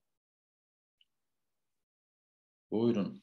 Cahide öğretmen öğrencilerinin çevre okuryazarlığı becerisinin çevreyle ilgili temel kavramları ve bu kavramların anlamlarını bildiklerini ayrıca doğaya ve sistemlere karşı bir farkındalık ve duyarlılık geliştirmeye başladıklarını fakat doğal sistemlerin işleyişi ve insanların oluşturduğu sistemlerle doğal sistemler arasındaki etkileşim hakkında fazla bilgilerinin olmadığını gözlemlemiştir. Eğer ki eğer ki işin içerisinde bakın dikkat edin bir farkındalık var fakat bilgi olarak bilgi olarak bir eksiklik söz konusuysa arkadaşlar orada biz ne diyoruz? Sözde e, çevre okur yazarlığı vardır diyoruz. Tamam Bizim için çok çok ne? Önemli bir ayrıntıdır bu. Lütfen bunu ne yapma? Unutma. Tamam mı? Eylemsel çevre okur yazarlığı ise aktif olmadır arkadaşlar. Faal olma üzerinden ne yapar? Çözümlenir. Bakın dikkat edin aktif olma. Daha çok böyle so, e, çevre problemleriyle ilgili ne yapma? İşin içerisine girişme eylemsel olarak ilerleme üzerinden ne yapar? Çözümlenir. Tamam mı? Buna lütfen dikkat. Bilgi eksikse eğer ki orada sözde çevre okuryazarlığı ön plandadır. Bilişsel çevre okuryazarlığı diye bir şey yok. Bilişsel çevre okuryazarlığı diye bir şey yok. Buyurunuz. Değer öğretiminden kesin bir sorunuz var arkadaşlar. Tamam mı? Değer öğretiminden kesin bir sorunuz var. Dikkat edin. Genç bireyler veli ve öğretmenlerin dışında akran gruplarından, televizyondan, yazılı basından, sinemadan, e, sanat dünyasından etkilenmeye başlamıştır. Model sayısının artması karar alma sürecinde gencin bocalamasına, iyiyi seçme sürecini öğrenememesine neden olmaktadır. Güzel okuyun bu soruyu arkadaşlar. Kendi değerlerinden farkına varamayan gençler karar alma sürecinde akran gruplarının propagandasının etkisinde kalmaktadır. Buna göre sosyal bilgiler öğretmenlerinin aşağıdaki değer öğretim yaklaşımlarından hangisini derslerinde uygulaması daha uygun olur? Şimdi bak burada e, eminim ki A diyen arkadaşlar şuna düştüler. Orada propagandayı görünce yapıştırdılar A'yı. Muhtemelen de soru kökünü ne yapmadılar? Okumadılar. Eğer ki arkadaşlar i'yi seçme sürecini öğrenemiyorsa orada en ideal şey nedir? Değer açıklamadır. Çünkü değer açıklama birden fazla tercih içerisinde tamam mı? Birden fazla tercih içerisinden ne yapılması? Değerin seçilmesi ve ona yönelik bir eyleme ne yapması? Geçilmesi üzerinden ne yapar? Çözümlenir. Güçlü ve zayıf yönlerini fark ederek. Doğrudur. Değer analizi, değer analizi ise daha çok işin içerisine neyi odaklar? Bilimselliği odaklar, tamam? Bilimselliği, mantıksal analizi, tamam mantığı, analizi, çözümlemeyi odaklar arkadaşlarım. Bunu unutmuyorsun. Ahlaki muhakemede dikkat edin. iki tane olay vardır. Tamam? Artı eksi üzerinden çözümleme yapar. Bu bizim için çok çok önemli. Tamam mı? Artı eksi üzerinden bir çözümleme gerçekleştirir. Değer telkini ise bir otorite tarafından bir otorite tarafından ne yapması aslında? Empoze edilmesi, öğüt verilmesi üzerinden ne yapar? Çözümlenir. Davranış değiştirme ise davranış değiştirme ise davranışçı davranışçı eğitim anlayışının ön plana çıkıyor olmasıdır. Ödül ve ceza mantığında ilerler arkadaşlar. Tamam Bunları iyi bilin. Önemli. Ahlaki muhakeme Kohlberg evet. Ahlaki muhakeme Kohlberg'tir. Buyurunuz. İyi bir soru. Bunu da çözmüş olabilirsiniz. Bunları birkaçını ben denemeden aldım arkadaşlar. Onlar da var içinde.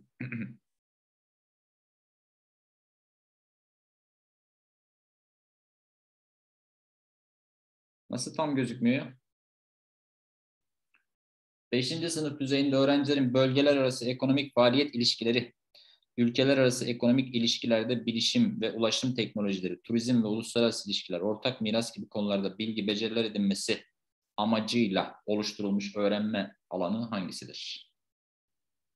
Çarşı karıştı.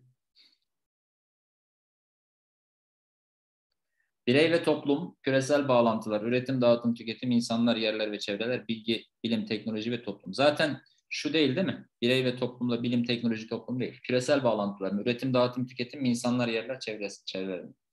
E zaten şu var yani bölgeler arası ekonomik faaliyet ilişkileri, ülkeler arası ekonomik ilişkiler değil mi? Bunları gördüğünüz zaman işin içerisine ne gelir?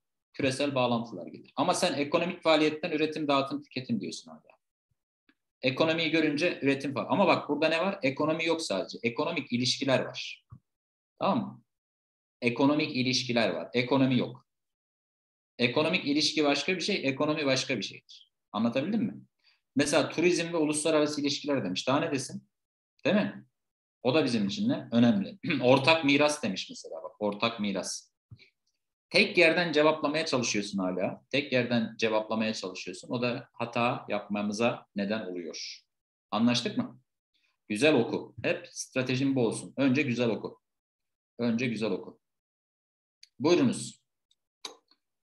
Bu benim beklediğim soru tiplerinden bir tanesi arkadaşlar. Üstüne basa basa e, bu seneyi bu soru tipiyle geçirdim. Hatırlarsınız muhtemelen e, derslerde takip eden arkadaşlar. Alana özgü beceriler içerisinde yer almaz. Evet, konum analizi 2018'de var arkadaşlar. Tamam mı? Konum analizi 2018'de var. Mekan algılama 2005 değil mi? 2005'te var, 2005'te var, 2005'te var. Başka ne vardı arkadaşlarım 2005'te? Empati var değil mi? Empati var. Bir de evet zaman, süreklilik ve değişim var. Tamam mı? Bunlar 2005'te yer alan e, alana özgü becerilerdir. Konum analizi, kanıt kullanma, efendim tablo, grafik, diyagram okuma, işbirliği gibi şeyler hep nerede? 2018'de var. Bu senenin sorusu olabilir bu. Alana özgü becerilerden biri değildir gibi bir soruyla karşılaşmanız muhtemeldir arkadaşlar. Tamam Buna iyi bilin. Alana özgü becerileri falan önemlidir. Bizim için önemli. Tamam Buyurunuz. bir değer sorusu. Öğretmen dersinde öğret Ömer Seyfettin'in Küfe adlı hikayesinden bölümler okuduktan sonra öğrencilerinden hikayede geçen değer sorunlarını tespit etmelerini ve eleştirel bir bakış açısıyla te- test etmelerini istemiştir. Eğer ki işin içerisine eleştirel bakış açısı giriyorsa mantıksal analiz giriyordur arkadaşlar. Mantıksal analizin olduğu her yerde de değer analizi vardır diyoruz. Tamam mı? Mantığı bu. Yani biraz seri çözüyorum ama e, mantığını oturtmuş olmanız gerekiyor bunların artık bu raddede. Evet, güzel. Problem çözme vardır. Tamam mı? problem çözme vardır, bilimsellik vardır değer analizinde. Unutmuyorsunuz. Bilimsellik ve e, problem çözme vardır. Zaten eleştirel bakış açısı işin içine giriyorsa hep buraya ne yapabilirsin? Gidebilirsin. Empati varsa değer analizi olmaz. Öyle bir çözümleme yapılmaz. E, neden? Çünkü her yaklaşımda birey empati kurabilir. Ahlaki muhakemede de empati kurabilirsin. Tamam mı? Buyurunuz. Yani ben hepsinde olabilirini söylüyorum Hasan. Sadece orada olduğunu varsayamazsın. Müze sorusu.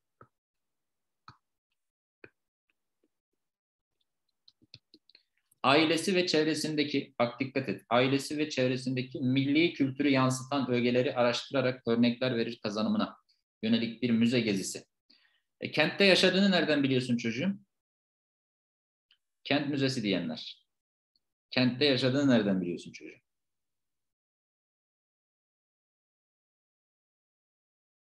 Aile ve çevresi diyor da kentte yaşadığını nereden biliyorsun diyorum ben de. Kent müzesi daha çok bir kentin tarihini e, bize gösterir. Tamam bir kentin tarihini gösterir. Yani nedir işte e, Samsun Kent Müzesi mesela gibi. Tamam? O Samsun'la ilişkili bir müzedir. Orayla o kentin tarihsel yapısını gösterir. Bu aile ve çevresindeki eko müzedir arkadaşlar. Tamam mı? Eko müzedir. Ekonomize, ekonomize daha çok ekonomiyle ilgili ekonomiyle ilgili yapıları kurgular. Mesela burada milli kültür dese değil de ekonomik faaliyetlerden bahsetmiş olsa, tamam mı? Ekonomik faaliyetlerden bahsetmiş olsa ekonomiziye gidebilirsin. Tamam Ekonomiziye gidebilirsin. Tamam Bizim için ne? Önemli. Ekonomik faaliyetlerden ama milli kültür diyor zaten. Milli kültürü yansıtan burada ekomize ön plandadır arkadaşlar. Bölge kültürü aynı zamanda bölgenin yapısal e, ögelerini de ön plana çıkarır daha çok bir kent tarih e, kentin tarihsel yapısından falan bahsetmesi lazım Anılcan. Kent müzesine gidebilmeniz için. Panoramik müze dediğimiz şey de daha çok e, bilgisayar teknolojiyle oluşturulmuş bir yapıdır. Panorama 1453 o. Aynen. O örnek üzerinden gidilebilir. Güven yazmış hemen. Tamam. Üç boyutlu müze türüdür o. Hayır bak. Milli kültürü yansıtan ögeler eko müzeyle ilişkilidir. Kent müzesi olmaz. Kent müzesi daha çok kent tarihini verir. Deneme 7'de kent müzesi mi demişim. Eko müze diye düzeltelim onu Mustafa. Tamam Eko müze diye düzeltelim canım ben. Buyurun. Bu tip bir soruyu da seviyor ÖSYM yetkinliklerle ilgili arkadaşlar. 2018 yılında yayınlanan Sosyal Bilgiler Dersi Öğretim Programı'nda belirtildiği üzere. Onu Ekomüze diye değiştirin. Tamam Ekomüze diye değiştirin. Türkiye yeterlikler çerçevesinde 8 anahtar yetkinlik bulunmaktadır. Bunlardan biri yabancı dilde iletişim yetkinliğidir. Bu yetkinlik aşağıdakilerden hangisini kapsamaz? Yabancı dilde iletişim. Kültürel çeşitliliğe saygı duyma, ihtiyaçları doğrultusunda metinler okuma, okuduğunu anlama ve metin üretme, yabancı diller iletişim içerisinde. Toplumsal gelenekleri, kültürel ögeleri, dil çeşitliliğini fark etme. Zaten dil çeşitliliği var.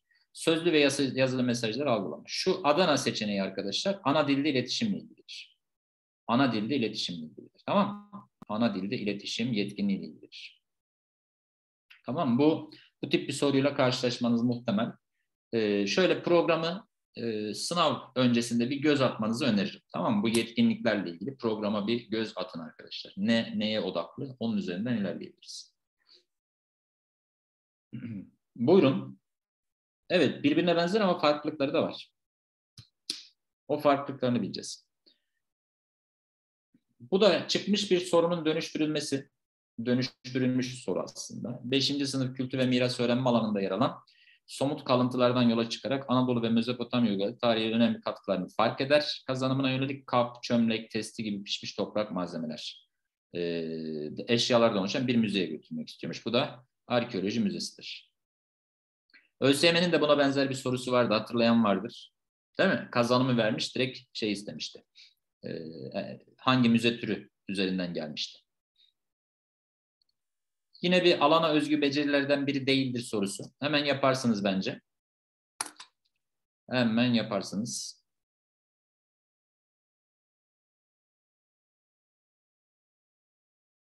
Alana özgü becerilerden biri değildir. 2005'e göre yorumluyoruz. Kanıt kullanma neyin içinde? 2018'de. Çok güzel. Değil mi? 2018'de. Diğerleri 2005'te de var. Neyi açabilir miyim? Halime? ...2005 öğretim programında alana özgü beceriler var. Empati, mekan algılama, zaman ve sürekliliği algılama, sosyal e, katılım, aynı şekilde işte e, değişim ve sürekliliği algılama gibi beceriler bunlar alana özgü beceriler olarak geçer. Gözlem de var bunun içerisinde. 2018'de bu genişletilmiştir. Kanıt kullanma, konum analizi, efendim işte tablo, grafik, e, diyagram okuma ve yazma gibi beceriler de 2018'de eklenmiştir. Onlar yer almaz. Bu soru tipi önemli. Zaten şu var yani bu bu becerilerden biri değildir diyor ya şu beceriler zaten 2005'te var. Tamam mı? 2005'te var. Şu 2018'de var sadece. 2018'de var. Tamam Buyurunuz. Hemen yapacağınız bir soru tipi oturmuş olması lazım. Öğrencilerin mantıksal düşünmeleri, bilimsel incelemeler yapmalı. Değerlerini kavramsallaştırmalarında, bunlar arasında bağlantı kurmalarında mantıklı ve analitik süreçler istiyorsa değer analizi vardır. Değil mi? Bunlar oturdu güzel. Hep böyle gelecek yani. Tamam mı? Bu bağlantılar üzerinden sorar. Şunları açıkladık zaten. Bunları açıkladık. Buyurunuz. Bir sosyal bilgiler öğretmeni sosyal bilimlerdeki çalışma ve bulgulardan hareketle sosyal bilimlerin toplum hayatına etkisine örnekler verir. Kazanımına yönelik planladığı etkinlikte düzenledikten sonra sosyoloji biliminin ortaya çıkışıyla ilgili neye odaklı? Tek bir konuya odaklı değil mi? Tek bir konu yani tek bir temadan hareket ettiği için tematik zaman şeritlerini ne yapıyoruz arkadaşlar? Alıyoruz. Bu zaman şeritlerini tarih ÖABT'de çok sordu. E, sosyalde de sorabilir arkadaşlar. Dikkat etmenizde fayda var. Açıklamalı zaman şeritlerinde genelde bu sadece e, kronolojik bir sıralamadan ziyade belli önemli ögelerin altına işte çeşitli anekdotlar, yorumlar, alıntıların falan yerleştirilmesi. Senkronikte ne vardı? Senkronikte daha çok iki olayın iki olayın paralel, iki ya da daha fazla olayın birbiriyle paralel ilerlemesi. Histomap üzerinden de kullanılabilir arkadaşlar. Histomap üzerinden de kullanılabilir. E, tarih ÖABT histomap diye sormuştu bunu. Dikkat edin. Tamam Bizim için çok çok önemli. Klasik soru olarak geleceğini sanmam. Bildiğiniz o kronolojik sırayı bize verir. Biyografikte biyografi e, üzerinden, bir kişinin üzerinden kurgulanmış bir yapıdır. Tamam Onun üzerine odaklıdır. Kamerası açık olanlar varmış arkadaşlar. O kapatsın. Ben göremiyorum çünkü. Tek bende açık çünkü. Ben sabitledim. Buyurunuz. Mekan algıları. Bunlarla aranız nasıl bilmiyorum ama şöyle bir değinmekte fayda var. Mekan algılama becerilerinden hangisini geliştirmeye yöneliktir? Ailesi ve çevresindeki milli kültürü yansıtan öğeleri araştırarak örnekler verir kazanmaya düzenledikten sonra çevresindeki milli kültürü yansıtan öğeleri bir arkadaşına mektup yazarak. Şimdi buradaki önemli olan şey ne? Ön planda tuttuğumuz şey e, mektup yazması. Mektup yazması bir hayal değil mi? O onu canlandırdığı şeyi anlamlandırması. Bu yüzden imge mekana ne yaparız arkadaşlar? Gideriz. Evet sosyal bilgilerde çıkmadığını biliyorum arkadaşım. Tamam sosyal bilgilerde çıkmadığını biliyorum. Tarih ÖABT'de soruyor daha çok ama bize de sorabilir. Tamam Bize de sorabilir. Yani çözmüş olmamızda bir sakınca yok. Fiziki mekan? Bir mekanın varlığı zaten. Onun üzerinden bakılabilir. Görece mekanı daha çok uzaklık, yakınlık üzerinden sorar bize. Tamam mı? Bak dikkat edin. Önemli bir şey. Uzaklık, yakınlık, mesafe üzerinden sorar. Tarihi mekan, tarihi bir olayın gerçekleştiği yer olarak alabilirsin. Yer olarak mekan da haritada gösterebilen her yerdir. Tamam mı? Onun üzerinden ne yapalım? İlerleyelim. Bağlantıyı bu şekilde kuralım. Yine kolay bir soru. Bunları yapıyorsunuz zaten. Öğretim programında yer alan 2005 öğretim programında yer alan öğrenme alanlarından biri değildir. Etkin vatandaşlık değil mi? Etkin vatandaşlık öğrenme alanı hangisinde arkadaşlar? 2018'dedir. Şunların hepsi 2005'tedir. Ama burada bu soruyu şunun için koyduğumu hatırlıyorum. O ayrıntıyı size vereyim. Tamam Bizim için önemli bir bilgidir o.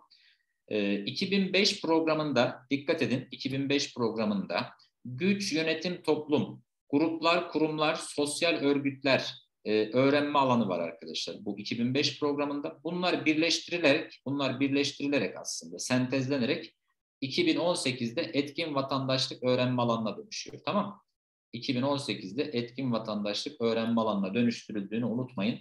Belki bir yorum sorusu, bir bilgi sorusu bu anlamıyla gelebilecektir. Tamam mı? Ee, Cihan kameran açıkmış e, sevgili dostum. Ee, onu bir kapatalım. Ee, arkadaşlar yazıyor. Dur ben kapatayım şurada. Heh, kapattım ben. tamam mı? Bu bilgiler. Yani oraya da odaklanmayın. Buyurunuz.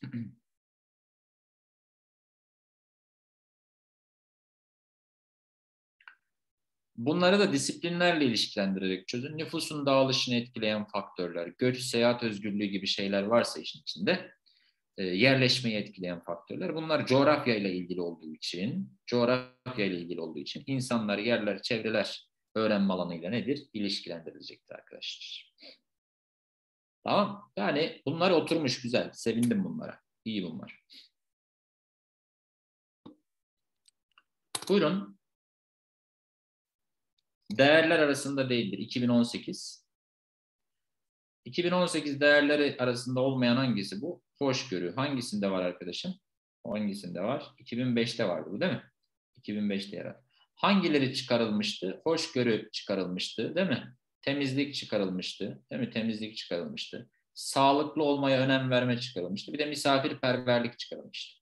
Misafirperverlik. Bunlar 2005 programında yer alıyor arkadaşlar. 2005'ten e, çıkarıldı. Eklenenler hangisiydi?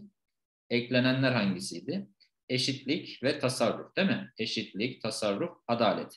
Adaletle ilgili şunu da bilmekte fayda var. 2005'teki adil olma, tamam mı? 2005'teki adil olma 2018'de neye dönüştü? Adalete dönüştürüldü arkadaşlar. Tamam mı? 2018'de adalete dönüştürüldü diyebiliriz. Hem değer hem kök değer. Evet. Öyle de gelebilir. Buyurun. Bir sosyal bilgiler öğretmeni, coğrafi keşifler, Rönesans, aydınlanma çağı, reform, reform, Fransız ihtilali, sanayi inkılabı, sömürgecilik ve e, bunların neden olduğu karmaşa ile ilgili insan hakları ihlalleri konusuna yönelik etkinlikler düzenlediyse hangi öğrenme alanına yönelik etkinlik yaptığı söylenebilir? Bu etkinlikler arkadaşlar, bu kavramların hepsini biz e, kültür ve miras öğrenme alanında ne yapıyoruz? Ele alıyoruz. Bizim için önemli. Tamam Mesela orada insan haklarını görüp de etkin vatandaşlık diyenleri ifşa etmeyeceğim. Tamam İnsan haklarını görüp de etkin vatandaşlık deyince on, diyenleri ifşa etmeyeceğim. Onlara sadece dikkat etmelerini öneriyorum. Tamam Onlara dikkat etmelerini öneriyorum. Tamam Dikkat. Evet oradan da çıkar Halit. Oradan da çıkar. Tarihin konuları kültür ve miras değil bilebilirsin. Ama işte bazı arkadaşlar burada insan haklarını görünce yapıştırdılar etkin vatandaşı. Ama şunlar var bak zaten. Bunlar tarihsel konular. O yüzden kültür ve mirasla ilgilidir arkadaşlar. Tamam Tamam tamam yapmadım hadi. Buyurun. Bunu çözelim. Az bir sorumuz kaldı. Bitirip hepsini tamamlarız. Bazı öğrenciler geçmişte yaşamış insanların bugünden farklı düşündüklerini anlayamazlar. Tarihe gidildikçe insan zekasında geri gittiğini varsayıyorlarsa orada aptal geçmiş ön plandadır. Değil mi? Yani tarihte zek e, geçmişteki insanların daha e, sınırlı düşündüklerini ön plana çıkarırlar. O anlamsız bir şeydir. Bu da zayıf bir tarihsel empati sürecidir. Soru olarak gelebilir arkadaşlar. Ders sonunda konuşalım Ayşegül. Buyurun, bunu da yaparsınız. 2018 Sosyal Bilgiler Öğretim Programı'nda yer alan hedefleri hangi yeterlik alanıyla ilişkilidir? Durum değerlendirmesi yapabilmesi, bireysel ve grup olarak çalışma, hedeflere ya da kişisel amaçlara ulaşmada kararlı olma. Bu yeterlilikler, bu kazanımlar arkadaşlar öğrenmeyi öğrenme yeterliğiyle ilişkilidir. Dikkatinizden kaçmasın. Ee, soru olarak gelebilir. Tamam Evet, öz denetimden de çıkarabilirsin Mehmetciğim. Öz denetimden de çıkarabilirsin. Kendini denetleyebilme gibi. Ee, inisiyatif neydi diye sormuş Anılcan. İnisiyatif alma ve girişimcilik algısı içerisinde birden fazla kazanım var Anılcan. Onları tek tek görmemiz gerekiyor. Tamam Şu an açıklamam çok mümkün değil. Çok ezber burası. Bu da çıkmış sorulardan biri. Çıkmış sorulardan biri. Çok önemli bir soru tipi bence. Hemen yaparsınız. Ee, bununla ilgili küçük bir şey söyleyeceğim. Hala ona düşenler var. Hala ona düşenler var. Biri düştü hemen. Biri düştü. Mesela yine e, şuradan gidiyorsunuz galiba. Toplumsal yaşamı gören arkadaşlar. Bak dikkat et. Hemen şöyle yapıyor tamam mı? Toplumsal yaşamı gören arkadaşlar sosyoloji diyor. Tabii ben onları yine ifşa etmeyeceğim. Tamam mı? Yine onları ifşa etmeyeceğim. Fakat burada e, toplumsal yaşamdaki çalışmanın toplumsal yaşamdaki önemi ve aynı zamanda mesleğin gerekli ve saygın olduğuna inanır. Bu neyle ilgili? Ekonomiyle ilişkilidir arkadaşlar. Tamam mı? Ekonomiyle ilişkilidir. Yani şunu unutma, eğer ki önemli bir ipucu bak bu bizim için mühim. Mesleklerle ilgili olan şeylerin hepsi, mesleklerle ilgili olan şeylerin hepsi ekonomiyle ilgilidir. Çıkmış soru evet. Tamam Dikkat edin. Bu da yine çıkmış sorulardan biri.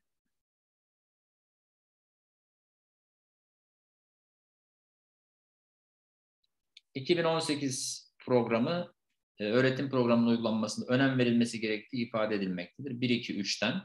Vatandaşlık aktarımı, sosyal bilgiler yok arkadaşlar. İkisi var. Biraz önce de benzer bir soru çözdük zaten. Sosyal bilim olarak sosyal bilgiler ve yansıtıcı düşünme olarak sosyal bilgileri gözlemliyoruz. Önemli bir ifade. Tamam mı? Dikkat edin. Bunlar hep gelecek sorulardır. Harika. Yani bunlar çıkmış sorular ve benzerleri arkadaşlar. Tamam mı? Daha yeter ki dikkat olun. Dikkatli olun. Alan eğitiminden soru kaçırmazsınız. Yine basit e, birçok defa örneğini çözdük arkadaşlar. Hangisi alana özgü beceriler arasında yer almaz dediği değil mi? Mekana e, yer alır, e, yer almaktadır. Mekan algılama ve sosyal katılım doğrudan alana özgü beceriler içerisindedir arkadaşlar. Girişimcilik 2005 programında temel beceriler arasındadır arkadaşlar. Temel ya da genel beceriler üzerinden ne yapılabilir? Düşünülebilir. Tamam Bizim için önemli bir ayrıntı bu. Bu alana özgü becerileri lütfen bilin. Tamam Lütfen bilin önemli. Tamam? Önemli. Az kaldı arkadaşlar bitecek. Az kaldı bitecek. Şuna bakın. Yaşadığı çevre ile dünyanın genel coğrafi özelliklerini çok açık bir soru zaten değil mi? Yani e, insan ile çevre ilişkisi, etkileşimi üzerinden geliyorsa zaten biz bunu hep neyle ilişkilendiririz? Coğrafya ile ilişkilendiririz arkadaşlar. O da coğrafya bilimiyle nedir? İlişkilendirilmiştir zaten. Çok zorlayıcı bir soru tipi değil. İnsan, yer ve çevre. Değil mi? Güzel. Evet, şunu da dikkatli okuyun. Ben bunu daha öncesinde bir çözdüm. Ee, bir kampta da çözmüştük. Orada katılan arkadaşlar varsa hatırlayacaktır muhtemelen ama dikkatli okuyun olur mu? Dikkatli ve güzel okuyun. Dikkatli ve güzel okuyun. Yani kafanızı kaldırdığınızda 5 şıkkın 5'i de doğru gelmesin.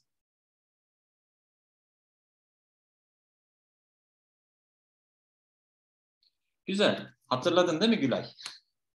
Hatırladı bak Gülay. Evet. E, tabii ki burada hikaye kullanılmasının gerekçelerinden biri olamaz gibi değil mi? Şimdi kültürel farklılıkları anlamalarına yardım eder değil mi? E, öğrencilerde hikayede yer alan karakterler kadar yerler hakkında düş gücü sunar.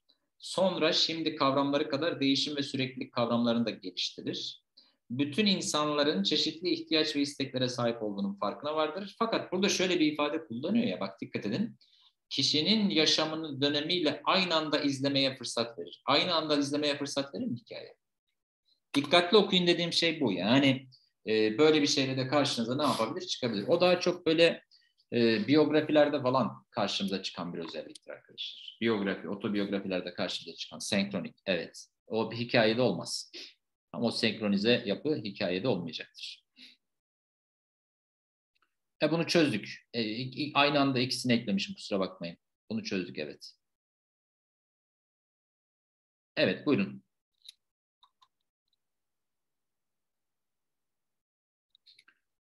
Soru olarak gelebilir arkadaşlar bu da. Bağlama uygun evet güzel harikasınız. Çok güzel gidiyorsunuz tarih alanıyla ilişkilendirirken öğrencilerin geniş kapsamlı olarak verilen çerçevenin dışında tıpkı bir uzman gibi düşünmeye başlamaları, aynı zamanda öğrencilerin kendi kişiliklerinden çıkarak dönemin anlayışı çerçevesinde o kişinin düşünce ve duygularını yansıtabilmelerini hesaplar, e, hedefler. Bu da bağlama uygun tarihsel empatiyle ilişkilidir. Aptal geçmiş geçmişe gittikçe insanların e, zekasının bugünümüzden geri olduğunu ön plana çıkarır arkadaşlar. Tamam mı? Buna lütfen dikkat et. Günlük empati bireyin e, genellemeye ulaşmadan, genellemeye ulaşmadan gündelik yaşam deneyimleriyle ilişki kurması üzerine odaklıdır. Klişe genelleme alışılmış ifadelerle çözümlenmesidir. Sınırlı ta- ta- tarihsel empatide ise genelleme yoktur. Tamam mı? Genelleme yoktur. Genellemeye ne yapamaz? Ulaşamaz. Bir empati kurabilir ama genelleme kurgulayamaz. Bu yüzden D olmaz. Yani o anlayışı anlaması mümkün değil. Tamam mı? O duyguları anlaması ya da yansıtması mümkün değil tarihsel, sınırlı tarihsel empatide. O yüzden D olmuyor. Aa, benim sevdiğim sorularımdan bir tanesi bu. Yine denemelerden hatırlayabilirsiniz bunu. Denemelerden hatırlayabilirsiniz. Bir bakın bakalım. Serpil öğretmen dersinde öğrencilerin çocuk hakları konusunda bilinçlenmelerini e, ve duyarlı olmalarını sağlamak amacıyla değer açıklama yaklaşımına dayalı planlama yaparak içerikte güncel olaylardan örnek vermiştir. Hangisiyle başlaması gerekir diyor. O hani hatırlıyorsunuz değil mi? Seçme, ödüllendirme ve davranış değil mi? Harekete geçme e, olarak algılayabilirsin. Önce bu değer açıklamayı kullanıyorsa eğer ki öğrencilere ne sunması lazım? Öğrencilere ne sunacak? Seçenek sunması gerekiyor değil mi? Buna benzer bir şey olması lazım. Ee, çocuk haklarına karşı duyarlı olmanın önemi hakkında konuşması. Bu telkindir arkadaşlar. Tamam? Bu telkindir. Sosyal medyadan çocuk hakları ile ilgili haberlerin toplanmasını istemesi. Çocuk haklarına karşı duyarlı kişilerin özelliklerine ilişkin bilgi verilmesi. Çocuk haklarına karşı duyarlı olunması konusunda neler yapılabileceği ilgili seçenekler sunması. Çünkü niye? Seçenekleri sunacaksın, öğrenci seçecek, sonra onları ödüllendireceksin, kendileri o değerleri açıklayacaklar özgürce. En sonunda da eyleme ne yapacaklar? Geçecekler. Cevabımız bu yüzden D seçeneğidir arkadaşlar. Ve bu da çıkmış sorulardan bir tanesi miydi? Benzer bir soru muydu? Kahramanlık konularını temel alıyorsa, yurt sevgisini ve kahramanlığı konu alan bütün şiirlerde ne arıyoruz arkadaşlar biz? Epik şiir olarak alınır. Tamam Lirik, duygusal değil mi? Duygusal. Satirik, eleştirel değil mi? Eleştirel. Hicip üzerinden ne yapılabilir? Kurgulanabilir. Pastoralde doğa. Evet bu da çıkmış soru. Bu sene bu gelebilir bak dikkat edin. Pastoral şiir gelebilir. Pastoral şiir. İnsanlar, yerler ve çevreler öğrenme alanıyla ilişkilendirip sorabilir. Dikkat edin. Karışık değil bunlar. Didaktik öğretici Merve. Öğretici. Bunu da hemen yaparsınız. Biraz önce de benzerini çözdük zaten. Anadolu ve Mezopotamya uygarlıklarının katkılarına duyarlılık kazandırabilmek için hangisi en uygun olur? Müze eğitimi en uygun olur. Niye? Zaten e, arkeoloji müzesi üzerinden ne yapılabilir? Çözümlenebilir. tamam mı? Tekniklerle ilgili soru koymadım hiç. Ee, yani ÖYT zaten çözmeyelim istedim burada. Eğer ki onlardan istiyorsan yani onlardan hiç soru koymadım. Evet, benden bu kadar. Başarı diliyorum arkadaşlar size. Ben teşekkür ederim. Son olarak şunu söyleyeyim arkadaşlar. Ee, size önerim, lütfen beni dinleyin şimdi. Bir şey yazmayın oraya. Sadece bana odaklanın lütfen. Ee, lütfen bana odaklanın. Hadi bakalım. Bir şey yazmanıza gerek yok. Ee, sizden ricam şu, tamam mı? Sınav esnasında ve iki günlük kalan sürecimizde lütfen e, soruları daha dikkatli, tamam mı? Daha özverili e, okuyun. Daha sakin olun, tamam? E, hızla cevap vermenizin bir anlamı yok. Önemli olan çünkü o soruyu doğru yapmanız arkadaşlar ya da yanlış yapmamanız, tamam? Hızla yaptığınız bir şeyi yanlış yapma ihtimaliniz daha fazla artar. Bu yüzden sakin olmanızı, tamam? Sakin olmanızı, özellikle bilmediğiniz, e, bilginizin dahilinde olmayan, yorum yapamadığınız, bir fikir üretemediğiniz soruları da boş bırakmanızı öneriyorum. Tamam mı? Sınav esnasında. Bunlara dikkat ederseniz e, kendi emeğinizden, kendi hakkınızdan yememiş olursunuz. Bu bizim için önemlidir. Bunlara dikkat ederek hareket ederseniz sevinirim. Tamam mı? Yedili denemeyi temin etme bundan sonra. Yani pazar günü sınava gireceksen e, internetten falan alabilirsin. Ama e, dediğim gibi o da e, zamanında yetişir mi bilmiyorum. Deneme çözüm. Deneme çözün. Kısa tekrarlar yapın. Programı inceleyin muhakkak. Tamam Ee, öğretim programını lütfen inceleyin. Alan eğitiminden soru kaçırmamanız gerekiyor çünkü. Tamam mı? Onların üzerinden gidebiliriz. Boş mu bırakalım? İki seçenek arasında kaldığınızda mı boş bırakın? Yani o sizin takdiriniz arkadaşlar. Ben boş bırakın. Ben olsam boş bırakın. 2023 canlı derslerimiz için sanal dersindeyiz arkadaşlar. 5 şıkkın en iyisi. Evet. Tamam hadi bakalım. Eğer ki gelecek yıl sınava hazırlanan arkadaşlar için Instagram'dan takip alabilirsiniz. Tamam oradan yine konuşuruz. Yine fikir alışverişinde bulunuruz. Sorular zordu. Sorular zordu. Tamam mı? Kontenjan hakkında hiçbir fikrim yok. 60'tan daha iyisi 65'tir. 65'ten daha iyisi 70'tir. Tamam, haydi bakalım. Geceniz güzel olsun. Başarılar arkadaşlar. Hoşçakalın. İyi geceler.